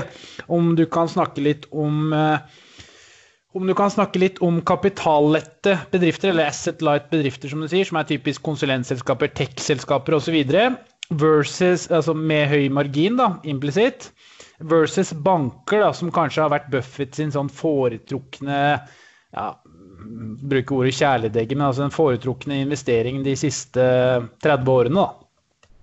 Ja, og her er, her er det jo litt sånn eh, viktig å skille, i alle fall med denne IT IT-boomen vi har sett de siste 20 årene, så er det jo helt åpenbart at det kommer flere og flere forretningsmodeller som det er det vi kaller for asset light. altså De trenger ikke kjøpe inn maskinpakke. eller de trenger ikke Det altså det, det er menneskelig hode som styrer businessen. Og det, eh, de får et heftig eller stort, raskt fotfeste Eh, globalt. Og, eh, og, de gjør at de kan ta høye marginer. For dette her er veldig effektivt drevne forretninger. Og, og, og, det er vel og bra. Og, Buffett sier jo det at det er jo der eh, de største liksom, gevinstene ligger i den type businesser. Nå prøver jeg å trekke, eh, trekke som lese litt mellom linjene. For dette kommer jo ikke fram det jeg sier nå i dette avsnittet. Men det som er viktig å få forstå, er at Buffett eller Berkshire er jo ikke et asset light. Tvert imot. Altså, vi snakket jo om Burlington Norden uh, Burlington uh, Nei, og uh, Berkshire Hathaway Energy. Det er jo så langt ifra det, det er så asset heavy som det kan få blitt. Men det som er viktig, er at, at, at de har en overlevelsesevne som blir lengre enn de som har asset light business. For det, at det koster så mye å, å bli konkurrent i det. Så her må du skille mellom så det er jo det Buffett og de gjør. Så de er ikke utelukkende opptatt av å kommentere he, hele sin business om til asset-light businesses. For det at til syvende og sist handler om mot overlevelsesevne. Og, og, da kan vi jo trekke dette punktet opp mot det vi sa innledningsvis. Husk på det at hvis det er asset heavy, så er det gjerne tynne marginer. Men da er det veldig viktig å være stor. Størst. Og, og, eh, så, så, her er litt av kjernen. Så, så, dette er ikke noe som jeg tror bekymrer Buffett de særlig. Men i alle fall de siste 20 årene. Det er ikke tvil om at uh, de største gevinstene for, som investor de har kommet i det vi kaller for asset light. Og uh, Det som er dilemmaet med disse, det er det at det er menneskelige hodene. Den menneskelige kapasiteten som er egentlig den reelle verdien. Så sånn sett så løper jo den type forretningsmodeller en, en, en veldig de er, By nature så blir de kortere Vil de kunne overleve Altså, de har ikke nødvendigvis samme levetid Nei, som, som, de andre. Så det er viktig å skille her. Men, men nok en gang, presisasjon. Asset heavy er ingen problem hvis du er nummer én i din, i, i din nisje, og at du faktisk er en, er en viktig faktor i samfunnet. For du må være en asset-heavy eh, selskap, vel vitende om at det er infrastrukturen som du egentlig har en hånd over. Mm. Og, og, og, Berkshire Hathaway i dag, og det er jo en sånn fun fact som kommer opp i, eh, i, eh, i årets brev, det er det at det, det, det er det selskapet eh, som har eh, størst eh, innslag av asset-heavy eh, investeringer, det er Berkshire. Next in line, det er ATNT. Og det vet vi, det er jo de som bygger som, altså, kabelnettet, f.eks. Telenor i Norge. altså De eier ja, Telemaster osv. Ja. egentlig. ja. Men da, da, da, da er Buffett uh, og Berkshire nummer én. Så dette, det betyr at uh, Berkshire Hathaway er en helt essensiell del av infrastrukturen i USA. Og det er er det noe som er moat, så er det noe skaffer deg moat, så er det akkurat det. Så skal ikke undervurdere det. Uh, asset heavy uh, investeringer. Men i alle fall så trekker han jo fram det at, uh, at, at, de største, beste investeringene de siste årene kommer jo fra det som kalles for asset light. Det som ofte er i disse asset light, de server egentlig, de gjør bare at andre kan drive, drive mer effektivt. Ikke vel? F.eks. ta cloud-businessen til Amazon eller noe sånt. Noe. Altså, til syvende og sist, altså, hvis ikke du produserer noe, hvis ikke du er en del av infrastrukturen, så, så og en unik infrastruktur, så, så vil du uh, mest sannsynlig leve kortere enn de som, uh, hvor det er tunge investeringer, men det er infrastruktur. Så, mm. ja. så det, var, det, var, det punktet. Så jeg vet ikke om han Ulland fikk fikk uh, det han eh, ville ha. Det han òg spurte om, det var kapitallette bedrifter versus alternativet. Og så snakket vi han om tilbakekjøp. Ja, det har vi jo pratet om. Det har vi snakka om. Mm. Uh, og så har han òg et punkt, uh, han Ulland, hvor han spør om Han har ikke nevnt altså Det er helt riktig, det kom ikke fram noe om, uh, om pandemien 2020. Nei, riktig. Det var bra du sa. Mars-april så ble det ikke snakket om noen ting, nei. Nei. Og en annen ting er det at det ble det ble snakka om fra mitt ståsted, hvis jeg skal prøve å tolke det hvorfor det nevnes denne gangen, det er det at det ble jo ekstremt omtalt da i fjorårets under fjorårets eh, årsmøte. Ikke vel? Sånn at, eh, sånn at eh, jeg, jeg, vil jo tippe at eh, det har ikke kommet fram noe nytt. Da ble det jo snakk om altså, alt det der ikke vi vet. ikke vel? Mm, mm. Buffett og de, de solgte jo unna alt alt innehav i flyselskapet. Og i utgangspunktet så viste vel det seg å, å, å være en, eh, en eh, I alle fall i to av selskapene, i, i Southwest og i, i, eh, Delta Airlines, hvor de da eide 10 av aksjene eller noe sånt. De solgte de, men det burde de ikke ha gjort. Mm. For de har virkelig gjort comeback. Så jeg vil anta at mange av spørsmålene, gitt at ikke de står i dette, de, dvelt om i dette aksjonærbrevet, så er jeg ganske sikker på at de som bestemmer hvilken spørsmål han skal bli stilt eh, på møtet i mai, de kommer til å, å, å, tillate mange spørsmål som knytter seg til pandemien. Det, det, det, det vil jeg tippe. Ja, og så hva jeg til å si at kanskje grunnen til at han ikke har skrevet noe om det, er jo at eh, Altså, det har eh, Det er vanskelig å si, da, men det er jo ikke kommet så veldig mye nytt heller, hvis du skjønner hva jeg mener. Altså, vi er jo fortsatt i denne pandemien, det er nedstengt. Så effektene av dette her, de langsiktige økonomiske konsekvensene, har jo ikke kunnet materialisert seg ennå. Ja, det har skjedd nye ting med at vi har ja, fått vaksiner. Eh, du har fått mye mer forskning rundt viruset eh, osv. osv. Men det er jo ikke noe som Buffett og, Munger har noe særlig kunnskap om i utgangspunktet. Da, for da må det jo være mer en epidemiolog eller en medisiner av, av ulike art. Men det som hadde vært interessant, selvfølgelig, er å høre hans, hans take på det økonomiske. Men samtidig så har det jo det er litt for tidlig enda, da, for å si det på den måten, til å kunne si hva som skjer da framover, og hva som er ringvirkningene av dette, i og med at vi fortsatt ja, basically, i hvert fall hvis man ser i Oslo her, så er man jo på status quo mars-april, egentlig. På det samme, at ting er nedstengt. Eh, økonomien, Deler av økonomien går ikke i gang. Det er fortsatt stimulipakker til, eh, til eh, den ene og den andre, enten i Norge eller internasjonalt. Så det er jo på mange måter litt samme situasjon som i mars-april også, da. Selv om man selvfølgelig vet litt mer. Men det økonomiske bildet er Ja. Mer eller mindre uendra, sånn sett. Mm. Men og du tror ikke du òg det at uh, uansett så kommer det til å bli flere spørsmål som slipper gjennom på årsmøtet? Jo, absolutt. absolutt. Og så er det jo, det er jo sikkert grenser for hvor mye han kan skrive i disse, i disse brevene også. Da. Det er kanskje viktigst å snakke om, om businessen først og fremst. Ja, og. Så dette her er jo eh, for uh, aksjonærer for at de skal uh, lære i bunn og grunn. Uh, at det skal være noen læringspunkter. Og så kan det vel òg tillegge det at, at årets møte kommer òg til å uh, kun streames, selvfølgelig. Normalt sett så er det jo 40 000-50 000 som valfarter til Omaha. Men, men i, i, fjor så var, jo, uh, så var det jo han og Greg Abel som er ansvar for ikke-forsikringsdelen av Berkshire. De var jo på podiet alene og snakka ut i et sort, i et sort hull, i bunn og grunn. I år så skal de Charlie Munger reiste ikke opp av hensyn til alder og sånt, noe reiste ikke opp til Omaha i fjor. Men i år så gjør de, eh, så gjør de motsatt. Nå reiser Buffett og, og de, Greg Abel og uh, Ajit Jane, til LA. Der til, til uh, nær der Charlie Munger bor. Ja, så i år blir Charlie Munger med på årets Ja, de, de, skal ikke sitte på CNBC sitt sånn hovedkvarter der borte, nei? De sitter hjemme hos han, eller? Ja, altså For det første, så når de sitter, så sitter de jo da i sånn, uh, sånn conference center i Omaha. Ja. Hvor da det er Yahoo Finance som streamer det.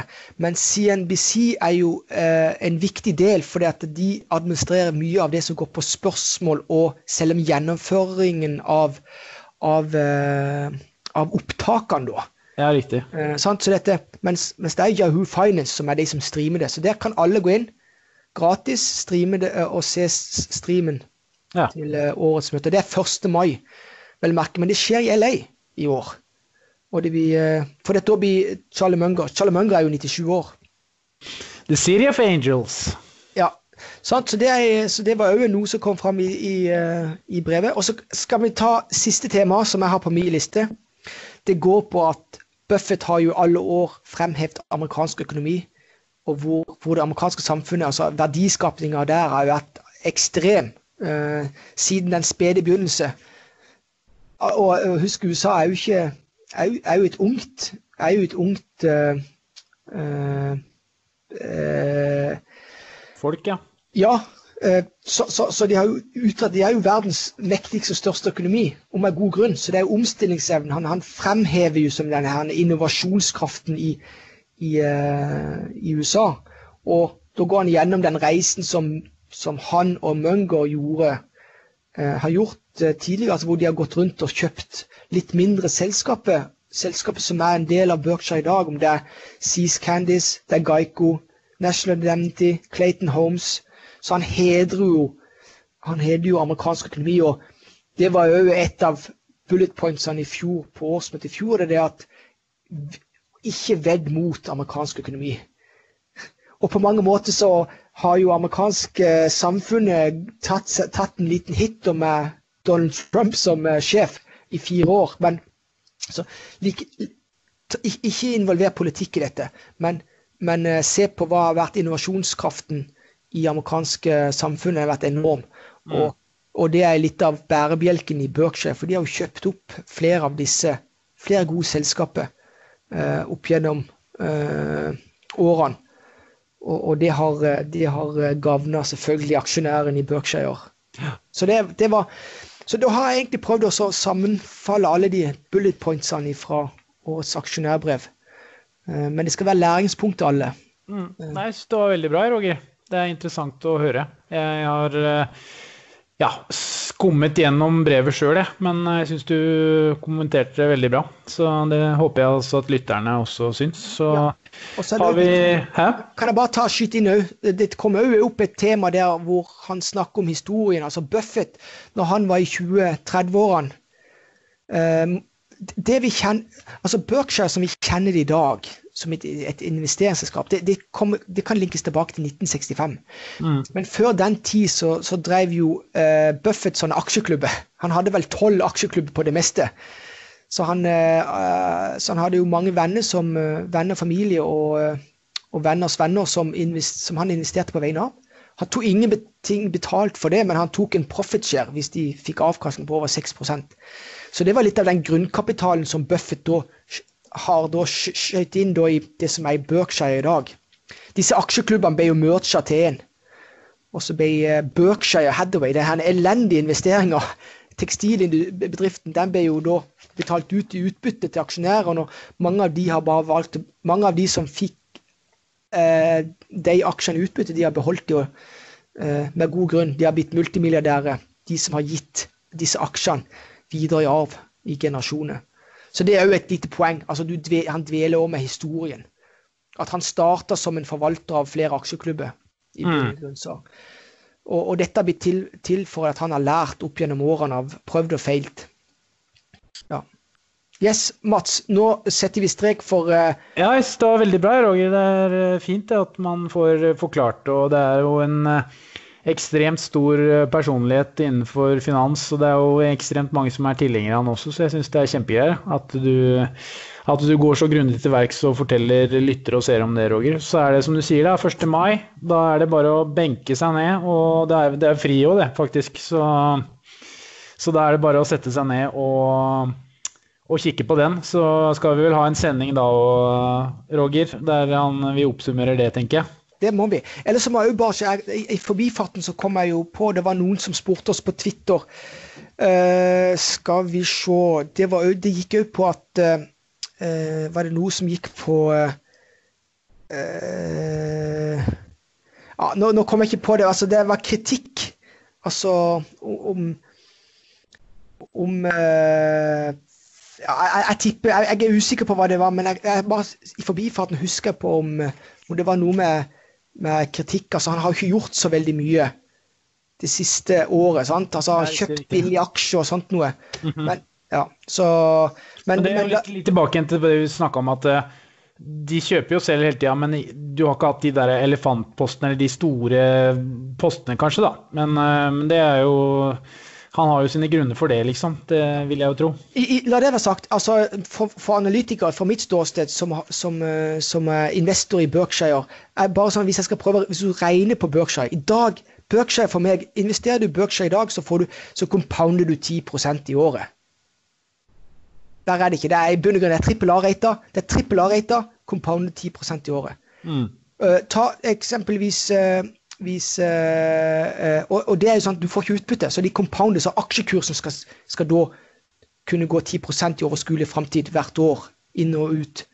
Sånn? Så, hvis, hvis, så hvis Berkshire har, har, har legga i et par år, så må du anta at det kommer igjen. Og mest sannsynlig kommer det igjen hvis det blir et syklisk oppsving nå.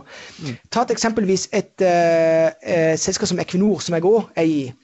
De compounder mellom 5 og 6 i år, men det, det er utbytte. Mm. Det er ingen vekst der. Ikke vel? Så der må du da bruke de utbyttene du får. Det det. Så, så, Equinor er dobbel A-rata, uh, gir deg 56 eh, avkastning, det er utbytte. I Berkshire så, så compounder du 10 Og det er ikke verst. Det er ikke verst. Det er det dobbelte av snittrenta, uh, 30-årsrenta i USA. Og så har du en eh, morsom eh, regneregel, Roger. At hvis du compounder 10% i året, så kan du bruke en regel som heter 72-regelen. Og det tar deg da 7,2 år å doble initiell investering uten at du fyller på. Ja, det er riktig. Og, og et eksempelvis, Jeg kan bare ta til Nå, La det jeg sagt eh, at jeg sier at det compounder 10% det er min altså min analyse. altså Som investor så forventer jeg det.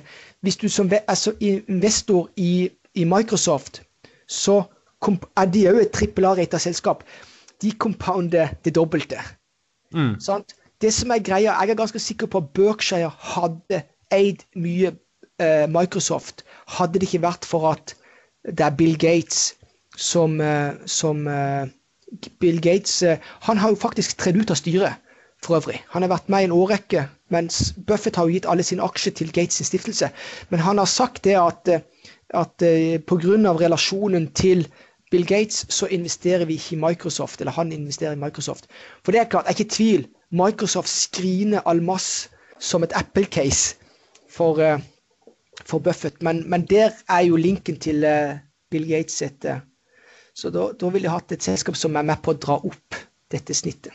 Ikke sant, ikke sant. Yes, Roger, men hvis vi skal sette strek for Berkshire da, så har vi vel Vi har vel litt uh, spørsmål nå, har vi ikke det? Jo. Vi, har, vi, får jo masse spørsmål som vi setter veldig pris på på Twitter, eh, Shareville uh, ja, av og til innboks på Facebook også. Uh, så det er jo det er bare hyggelig, det. men det ene spørsmålet var vel om laksesektoren, var det ikke det? Ja. Så vi kan jo snakke litt om det. Det er jo en sektor som har gått ganske bra nå, selv om prisene har Lakseprisen har stått ganske stille. Eh, kan du se her på prisen nå. På Infront her så har vi en spotpris nå på 49,5 ca. Og det er jo, som man ser, ganske kraftig ned fra juni 2020, da prisen var på over 70 kroner. Men allikevel så har jo ja, Hvis vi ser på Movi her, da, så har vel den eh, gått en 13% på en måned og 20% siste tre måneder, uten at eh, nødvendigvis prisen har beveget seg i samme måte. Så har du noen kommentar til det, Roger? Ja, Først og fremst så er jo laksesektoren har blitt hardt ramma av, av covid-19. Men det som jeg er opptatt av, altså hvis du, hvis du eh, med stor sannsynlighet har funnet selskapet eller industrier som har livets rett, som har muligheten dette er jo læren fra Philip Fisher. Jeg er nødt til å komme tilbake til det, for det er, jo, det er, det er, det er ryggraden min. Eh, dette går på refleks for min del. Hvis du har et selskap eller industri som vokser år inn og år ut i et forrykende tempo, og det faktisk òg er en fornuftig margin der, en margin som kan vokse. Og Det er det i sjømatsektoren. Og Movi som største eh, aktør har eh, best odds for å bli vinner om 20, 30 og 40 år fram i tid. Før pandemien inntraff, så, så var jo det retninga. Når pandemien inntraff, så forsvant en viktig del av, uh, av markedet for, uh, for uh, sjømatprodusentene. Det er dette restaurantmarkedet. Det er ingen, alt er jo nedstengt. Det gjør jo at kundene ikke da kjøper den der ferske fisken i, i, på restaurant, som er en viktig marginbusiness for, for oppdretterne. Så de har måttet den den tapte salget som har gått til restaurantene, har de jo måttet prøve å ta inn igjen i kjøp i, i, i disken i butikken. Mm, Frossenfisk etc. Ja, og, og det har jo gjort at uh, volumene har jo blitt mye større da, på det, og således da prisen har falt. Uh, ja, sånn da, for det, ja. Markedet er der. Jeg snakket med han Aslak Berge heter han vel, han som driver dette iFish. Uh, han som også er på Twitter. Anbefaler alle som er interessert i sjømat å følge han. Eh, men han sa det veldig enkelt, at eh, all fisk tas unna, men eh, det er avhengig av pris. Det er egentlig det. Så nå ser man kanskje en pris på rundt 50 kroner, er vel kanskje et, et sted per i dag som er riktig da, i forhold til at det er ekstreme volumer av, av frossenfisk, og du har et bortfall av restaurant- og, og hotell, hotellmarked. Mm. Så dette, og det unike er det at på dette året så har jo da selskapene eller industrien som helhet klart faktisk å flytte disse her volumene i stor grad over til butikkmarkedet. Sant? For kundene de etterspør det. Nå fikk vi jo siste eh, fra rapporten til Lerøy. Når du, når du følger Lerøy er et vi må bare disclaime, Mats. Du har òg en, en, interesse i Movi. Jeg har en interesse i Movi og en rekke uh, av disse sjømatselskapene. Uh, Lerøy, SalMar. Vi prater om vår syke mor her, så det er bra. Vi, vi gjør det, Men hva, hva, hva skal vi gjøre? Altså, hvis ja, du skal ja, ja, være long term investor, og du er investor på Oslo Børs, så har du nødt til å ha laks i porteføljen. Sånn er det bare, Mats. Det, det er min mening. Vel å merke, det kan gå til helsiken, men, men Uh, enn så lenge så ser for mitt ståsted ser, ser, det veldig bra ut. Jeg håper ikke det er meg som har tvunget deg inn i uh, Movie, Mats.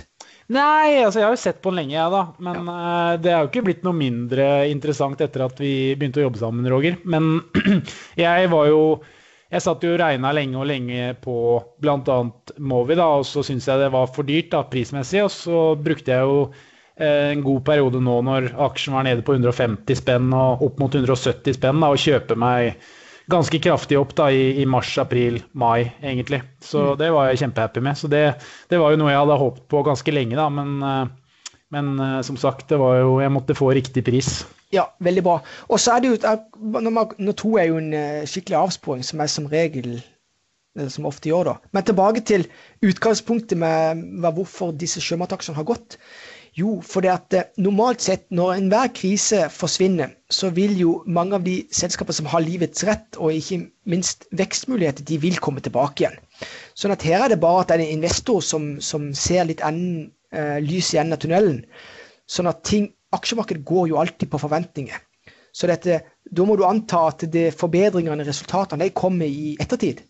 Og eh, i takt med at verden åpnes opp igjen, pandemien gir seg, så vil restaurant restaurantmarkedet kommer tilbake igjen. Og Da vil jeg jo se at det ser bedre ut for sjømatselskapene.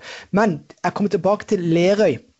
Det er ikke alle selskaper som er like viktige når du skal liksom prøve å tegne et bilde av situasjonen og situasjonen frem i tid. Men Lerøy er jo et sånt et selskap. Lerøy selger jo tredjepartsfisk.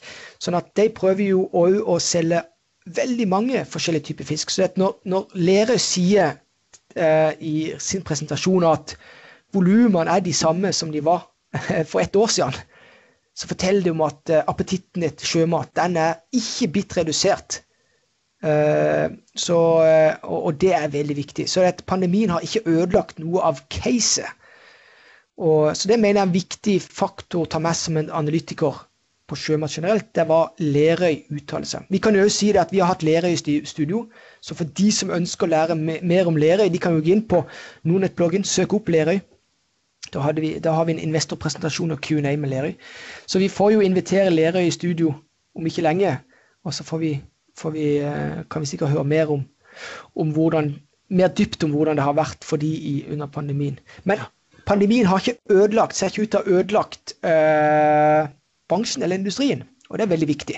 Mm. Og det, det, også er jo interessant det du snakket om, at aksjemarkedet ser jo framover, Roger. og sånn typisk regel i markedet er at man ser gjerne seks måneder framover. Og nå er, på, nå er vi, i dag på 1. mars, og da seks måneder fram så er vi jo i må hjelpe meg, september, vel. Og det er klart, da, det er jo også det som samsvarer med at eh, befolkningen angivelig globalt da skal være relativt fullvaksinert. Med andre ord at man da kan begynne å sette i gang og gå ut og spise på restauranter osv. Altså, det er jo åpenbart at man ser fram såpass langt fram at det blir en realitet, da, og begynner å prise inn aksjer på, basert på, på, på, den reelle verdien. Da. Og ja. det, det, ser man jo i alle aksjer hele tiden, egentlig. Noen aksjer går mye før talldagene, f.eks., for, eksempel, for man forventer gode resultater eller gode meldinger osv., og, så og så faller de på resultatdagen fordi de ikke tilfredsstiller nødvendigvis de langsiktige eh, mekanismene som markedet har priset inn. Da. Så det er jo egentlig det det går på, at man er kanskje til dels litt for positiv i forkant, og så justerer det seg hvis selskapet ikke klarer å prestere ut ifra hva de faktisk eh, er priset til å, å, gjøre, da. Ja, Eller så kan jeg jo komme tilbake til uh, en viktig egenskap for meg som har fulgt den industrien i så mange år. Så jeg har eh, legg merke til en, altså Sjømatindustrien har hatt enorme oppturer og nedturer historisk. Altså industrien som, eller bransjen som, som fremstår i dag, det er noe som er utvikla over fem tiår. Og, og, det har vært enormt pågangsmot, enormt mye kapital som har gått til spille. Men industrien samlet sett har alltid løfta seg. Sånn at de, Det som kjennetegner en sånn en, eh, industri som faktisk har livets rett, er det at de evner til å bli enda mer effektive. Utnytte nedtur til noe positivt. Kanskje skaffe seg eh, når det, er, når det er lave laksepriser, f.eks. Laks det er jo ikke noe annet enn at det er billig proteinet. Hvor du plutselig, når du kan levere volumet, hvor du plutselig kan konkurrere med, med, med, med, kylling. Altså, når den tid kommer, si at sjømat eller laks skal kunne protein, eh, konkurrere med kylling som protein, altså på, på pris, da, da, vil jo, da, vil jo, virkelig ting ta av. Altså. Men, men, de er up der. Sånn at, sånn at laks for meg Jeg elsker laks. Jeg, jeg, kan spise det til alle døgnets tider, som mange andre òg kan gjøre. Det er vel, det er vel russerne som er mest ekstreme på, på, å spise laks. Men i alle fall, det er protein i bunn og grunn. Eh, og, og, verden skal fôres. Verden kan ikke fôres på rødt. Du kan ikke ha 8 milliarder, du kan ikke ha 9 milliarder mennesker eller 10 milliarder mennesker som skal basere seg på å spise rødt kjøtt. Det går ikke. Du altså, husker, jo meg, du husker meg etter Nordnett Live, Roger, når vi spiste, spiste laks da. En kilo. Ja, du gjorde det. Det er imponerende. Så du, vi, vi, trenger flere av deg, Mats. Altså, ja, det er det. Jeg bidrar, vet du. Når jeg, når jeg virkelig jeg går, går, all in igjen, når jeg investerer i ting, da er, det, da er det bare å få bruke produktene. Ja, men i alle fall, industrien, nedturen. Historisk har de vært veldig flinke til å utnytte nedturen til noe positivt. Enten bli mer effektive på produksjonssida, eller skaffe seg økt uh, nedslagsfelt på, på kundesida. Så, så det, er, det, er, mange elementer. Altså, jeg har ikke vært bekymra for Det er klart at min portefølje, altså 30% av min norske aksjeportefølje er jo linka til sjømat. Mm. Eh, og hva er det 12-13% av porteføljen er bare da i én aksje, det er jo da i Movi. Jeg har ikke vært bekymra et sekund eh, for at de selskapene har legga eller kommet ned på nivået som gjorde at du kjøpte, Mats. Eh, for det er jo litt annet, for det er jo gjerne det som for, for, Og da trekker jeg fram den derne Eh, eh, det der med eh, Grandiosa. Grandiosa-situasjonen min. Sant? Altså, Får du Grandiosa til 1660, ja, så dobler du opp. Mm. Det er mer enn halv pris. Da kjøper du dobbelt. Mm. Så det er, det, det, Jeg tror det er iallfall mitt sånne, sånne korte, lange svar på, ja, det, på, det, var egentlig derfor jeg også kunne altså Jeg ventet egentlig bare på den anledningen for min del. altså skal det jo sies at det var eh, superflaks, selvfølgelig, at jeg fikk de til den kursen. Altså, jeg har gjort eh, mye feil, feil hele tiden, jeg. Men eh, foreløpig i hvert fall så har det vært en god investering. Og det er jo nettopp pga. det som vi har snakket mye om i dag med, med, Buffett, at du finner et kvalitetsselskap som da faller i pris, og som da eh, altså, det har ikke skjedd så ekstremt mye med selskapet. Ja, det stengte ned med logistikk osv. I, i Norge, men visste, eller i verden, men du visste jo at på et eller annet tidspunkt så skal man jo åpne igjen. Om det skjer, skjedde i 2020 eller 2021 eller 2022, så, således. Men de, hadde, de, følte, de, fant jo muligheter til å måte, få levert sitt produkt. Ikke nødvendigvis gjennom denne høymarginsbusinessen som er restaurant og hotell, men de klarte da å og vri seg om til ferskvaredisker og frossenfisk i konsummarkedet. Da. Mm. Og det er klart, det gir jo en trygghet for deg som aksjonær at et selskap er såpass omstillingsvennlig når det skjer en krise. Og det tilsier jo også at det er kvalitet, og da gjorde det veldig lite for min del at den aksjen eh, lå nede og surra på 150 spenn i en ganske lang periode, og at man Eh, enkelte kanskje ga opp da, for at han ikke begynte å bevege seg, fordi Movi var vel ned enn 20% i, i 2020, tror jeg. Mm. Eh, men det er jo liksom Jeg brydde meg ikke noe om det, for jeg visste at på sikt så ville det sannsynligvis stige, og det har han jo da heldigvis gjort. da. Og så får vi, får vi se hvordan det fungerer videre. Ja, og i, i snakkende stund så står uh, Movi 215,50. Og all time high for den var vel 230, tror jeg. Så, så hvis vi før pandemien så var han mm. veldig rundt det. Men nok en gang, hele For meg vil Movi altså Hvis de klarer det altså Det er ikke sikkert de gjør det, men hvis de skulle klare det, og, og gjøre businessen sin om til faktisk å, og, til å bli sånn franchise-konsept i sjømat, så, så uh, burde de jo kunne doble sin margin. Og da vet vi, altså da blir det da blir jo den der kursutviklingen blir jo eksponentiell, da.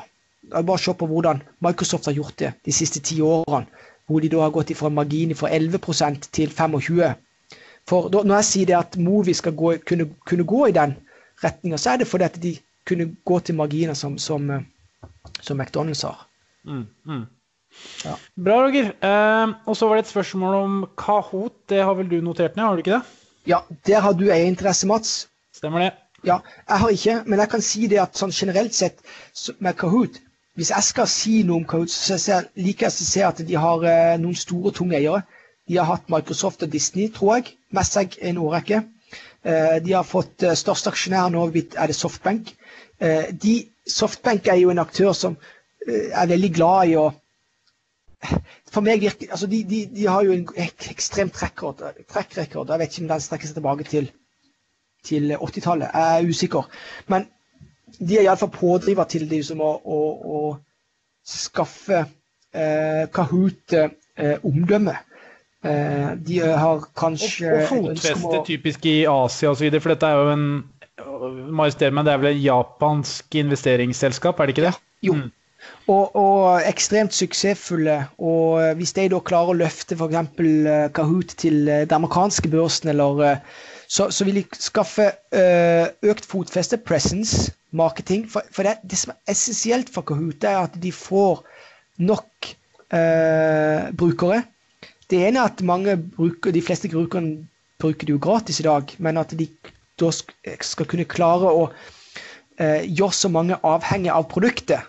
Uh, og at de etter hvert skal kunne liksom, prøve å få inn flere betalende. Det er jo det, det som litt konseptet. Så, så Kahoot har nødt For dette er, jo, dette er jo en sånn acid light.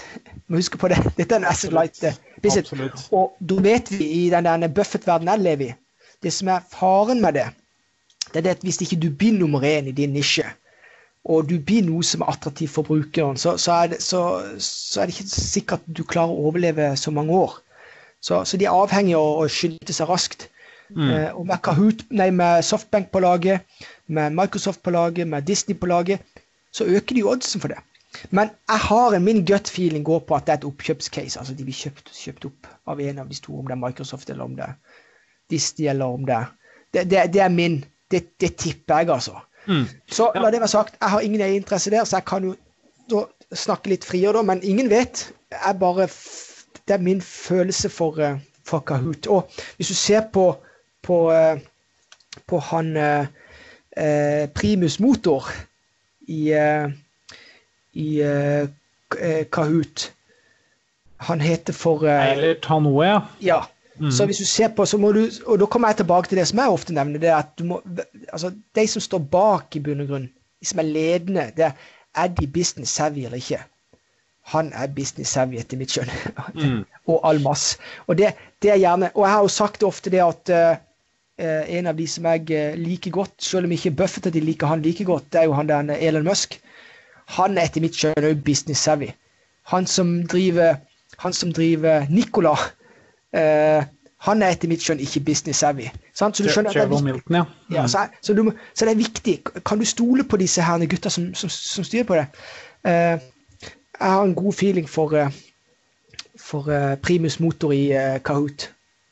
Ja, nei, altså, Grunnen til at jeg har kjøpt det, er at jeg har fulgt med. altså Jeg må jo innrømme at uh, i en ganske lang tid så tenkte jeg ja, men det er bare sånn quiz-app, liksom, så det er vel kanskje bare noe, noe surr som på en måte vil gå over. da. Men det jeg syns er ganske imponerende, er jo at de har jo nå gjort ganske store framsteg i forhold til det med e-læring.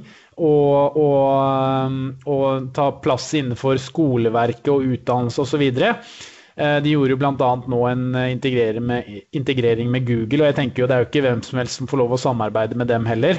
Eh, så det er klart, hvis de klarer å ta en ganske stor posisjon innenfor dette med e-utdanning, og ikke minst da utdanning i form av skoler, men også i forhold til kurs på jobb, gjøre game, altså drive med såkalt gamification av læring, da, og gjøre det mer interessant og attraktivt med eh, visualisering av, av, læring i forhold til quiz-apper, i forhold til ulike måter å, å, presentere litt sånn kjedelig, gammeldags undervisning, da, så kan det der greiene bli, bli veldig svært. Og har, de har jo også fått en del eh, oppmerksomhet nå internasjonalt. De har vært på CNBC et par ganger, på Bloomberg News et par ganger.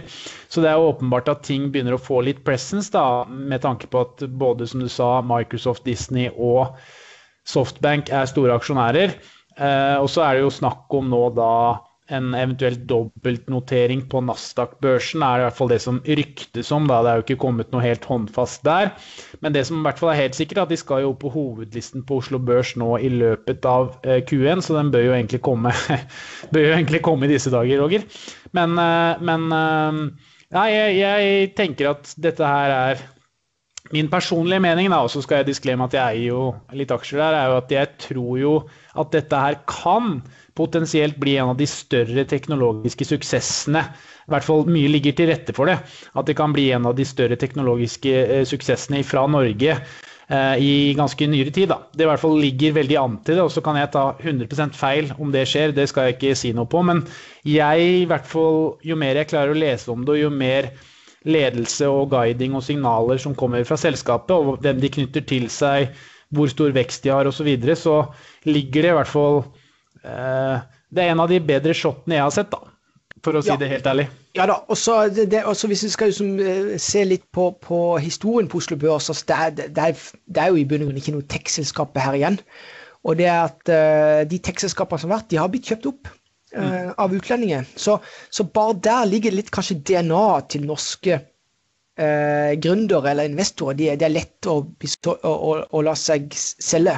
Mm. Så uh, det tar Dessverre, kan en si. Dessverre, egentlig. Ja. Det er jo synd for Oslo Børs og synd for norsk næringsliv generelt da, at det er så ja. mye god mye gode businesser som forsvinner til kinesere og amerikanere og osv. Og, så og bygges videre derfra. Så man kan jo egentlig håpe på at det ikke blir kjøpt opp, hvis, hvis dette her blir en, en, suksess. Da. Det vet man jo aldri, men ja, men, men, ja. ja, men det som er litt av dilemmaet, det er det at det er, eh, det er for, det for nisjeprega i dag, ikke vel? Det, det, er jo litt av de sin disadvantage. Så det, plass, det passer bedre inn som en add-on til en av disse store, virkelig store IT-gigantene. Uh, som et supplement på det som går på, på, læring. For det er ikke tvil om at alt som handler om læring, det er jo, vi er jo bare så vidt starta den megatrenden. Mm. Uh, vi var jo inne på det med YouTube i sist sending òg, Roger. ikke sant? Ja. Det, er jo, det, er jo, blitt det nye universitetet på mange måter. Det har det. Og der er det jo det. Vi bare får trekke fram med Elon Musk. altså hva han sier. altså, Du må huske på det at i dag, det koster jo Læring er gratis i dag. Mm. Så den som bare vil, den kan lære seg mye mye mer enn det han kan gjøre på et universitet. og du får og, praktiske erfaringer fra de som har klart det. altså, Det er vel litt sånn som de sier, jeg tror det var Øystein Strauss Betalen som sa at uh, Eh, hvis du bare ser på økonomiske teorier osv., så, videre, så blir du som en Harvard-professor. Langt skjegg og flat lommebok. Så det er klart.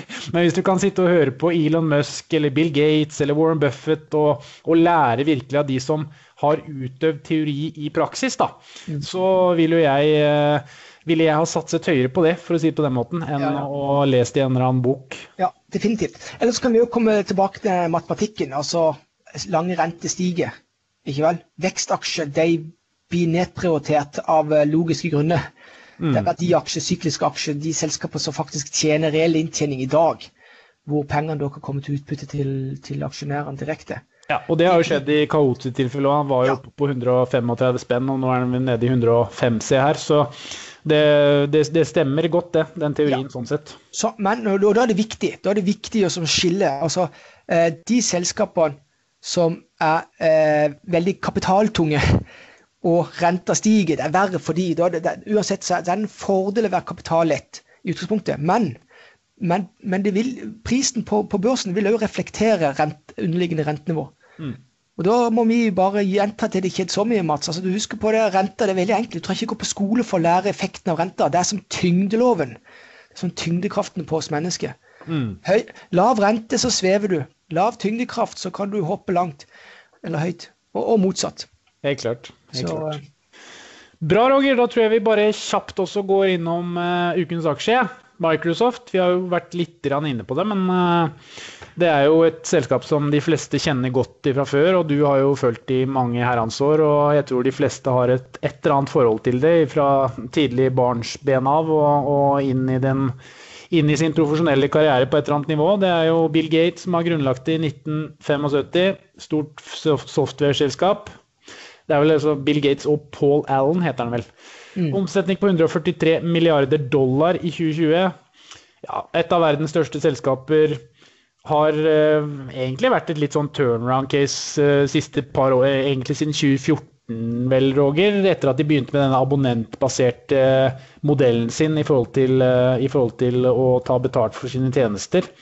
Så det har også vært en interessant reise etter at han, han CEO-en, jeg husker ikke hva han heter, men han kom inn, og innførte, ja, og kom inn og innførte det. Så det har jo vært en genistrek sett i etterpåklokskapens navn. da. Ja, det er klart at etter IT-bobla sprakk i 2000, så har det vært litt eh, vanskelig, i alle fall for aksjekursen til Microsoft, å, å holde seg flytende.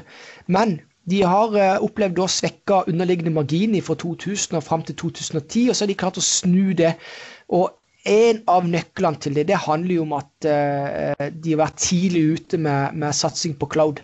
Mm. Så nå ligger jo som alle produktene til uh, Microsoft uh, i skyen. De som var et, par år tidligere ute enn de, det var jo Amazon, som vi alle kjenner til. Og Amazon er jo òg på høyde der oppe i forhold til valuation som Microsoft. Men, men likevel så er jo Microsoft et selskap som har en helt annen mote enn det Amazon har. Amazon er i en situasjon hvor de kanskje kan få litt regulatoriske problemer lenger fram i tid. Microsoft er på mange måter over den kneika uh, i forhold til alle de uh, situasjonene de har hatt med, med, lovgiver, om det har vært i EU eller USA eller globalt, uh, fra 2000 og fram til, til, i dag. Men til syvende og sist er det sånn at Microsoft er jo tufta på én ting. Det er det at de har effektivisert uh, alle andre sine forretninger. Ikke vel? Så det at uh, i dag, hvem er det som ikke bruker Office-pakken, eller uh, er glad for at den har vært en del av, av bagasjen til, til, alle som driver i, uavhengig av hvilken bransje du driver i. Så, så de, og så er det globalt, ikke, ikke minst globalt. Mm. kanskje en av de viktigste motene for Microsoft for mitt ståsted Du vet, Mats, jeg leter alltid etter, etter mote. Altså, det, har de noe beskyttelsesevne? Det er det at de er en trusted partner. Og de siste årene så har det i alle fall blitt, eh, blitt eh, viktigere og viktigere. Det er, det er eh, sikkerhet. Jo mer ting som skjer eh, online, jo, jo, viktigere blir sikkerhet. Og ikke minst så er det jo dette fremferden av kinesisk økonomi. At de har blitt tonegivende på den internasjonale arenaen hva angår politikk. Så er jo sikkerhet òg eh, blitt enda sterkere. Og da mener jeg at Microsoft er i hop med Apple de, de to eneste sånn reelle trusted partners, f.eks. for, for, eh, for eh, myndigheter og institusjoner i vestlig verden. Mm. Sånn at de har enorm beskyttelsesevne i, i, produktet sitt, rett og slett, og i, i, i sin, sin, fremtoning. Det har ikke. Bare for å ta motsatt ende av det, så er jo Facebook er jo motsatt ende av den skalaen. Men, men, Facebook må huske på, det som er moten til Facebook, det er det at de server privatpersoner og små og mellomstore bedrifter for å lett kunne eh, promotere seg sjøl. Og samtidig som at forbrukerne de blir underholdt på plattformene til Facebook. Også, så du får både underholdning og du får, eh, får, eh, får eh, promotation mm. av små og mellomstore bedrifter. Så dette, Facebook er jo på mange måter både Disney og Schibsted, altså en som driver avis som ansetter journalister for å drive uh, nyheter, uh, men òg har underholdning. Så, så, Facebook har jo, det er jo de sin måte, men de er ikke noe Facebook har jo ikke den De kan jo ikke bli et trippel A-selskap sånn som de er i dag, i bunn og grunn. Og det du sier der, det er også ganske interessant, eh, Roger. fordi det jo at Microsoft også er en trusted partner, gjør også at det er vokst ut en, en bransje da, som Eh, relater, altså som er avhengig av Microsoft. og det er typisk, Hvis du ser på et selskap på Oslo Børs da, som har gått veldig bra de siste par årene, det er jo Crayon. Mm. Og et, altså, Den viktigste delen deres er jo rett og slett at de selger eh, Microsoft-produkter med tilhørende da, konsulentvirksomhet, altså type eh, oppdateringer, eh, brukerhåndtering, tilpasning osv. Men det er Microsoft-produkter. da. Mm. Så det er, det er en stor, stor andel av ulike konsulentselskaper og diverse tech-selskaper også som eh, er linket til Microsoft på en eller annen måte. Da, og så tar de da en margin, da, for å si det på den måten, fordi at de kan mye om deres produkter. De kan mye om, om, eh, om deres løsninger, og, og, da således integrere det i en eller annen business. Mm. Så det er ekstremt mange store, tunge konsulentselskaper som også da er en såkalt premium partner med Microsoft. Og det er også interessant at du har du har en kjerne her også som bare ser ut til å ekspandere og ekspandere ut i nye bransjer, som da igjen da kall det tar, tar profitt og, og, og, skaper seg et nytt marked da, basert på, på, disse tjenestene som Microsoft leverer. Så det, det, skal man heller ikke undervurdere. Nei, det er et godt poeng. Men eh, vi kommer tilbake til denne. her, altså Size matters, altså. Størrelse betyr noe. Eh, så at Microsoft, Microsoft altså, det, det, er vanskelig å, det er vanskelig å komme opp på Microsoft sin nå. Jeg vil si det er nesten det er nesten umulig. Husk, det er jo, dette er jo en sånn fun fact. altså I 2000 så begynte jo han uh, Bill Gates eide vel Eide ikke han 49% av selskapet? I, og, og, og, være det. begynte han å selge seg ned i 2000, tror jeg. Og, nå går jo alt til stiftelsen. men så det er bare å regne. Hadde han fremdeles eid 50 av, av, eh, av, av Microsoft, så uh, sier det seg sjøl at uh, han er fremdeles helt oppe der som rikest i verden, men han har jo han har jo, hans eierskap har jo blitt forvitra. For han selger så og så mange aksjer hvert kvartal og siden 2000, tror jeg. Mm. Men, men det, dette er et solide Så dette er jo et selskap som lever sitt eget liv, ikke vel? Sånn at det er, det er, kommet, det er kommet, over i helt annet nivå. Jeg ja. tror jo Apple er i samme kategori. Du, du er, Steve Jobs han har jo Ideologien til Steve Jobs er jo det med å kunne kontrollere alt selv.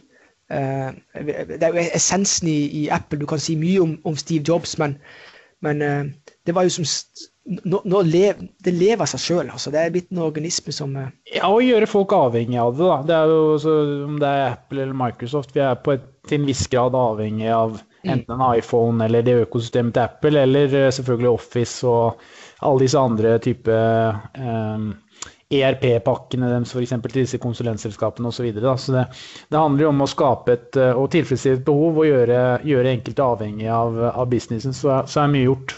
Ja, og så vil jeg bare si, Hvis du ser på M&A-aktiviteten til Microsoft, den er jo på samme måte som den er for Apple. og især.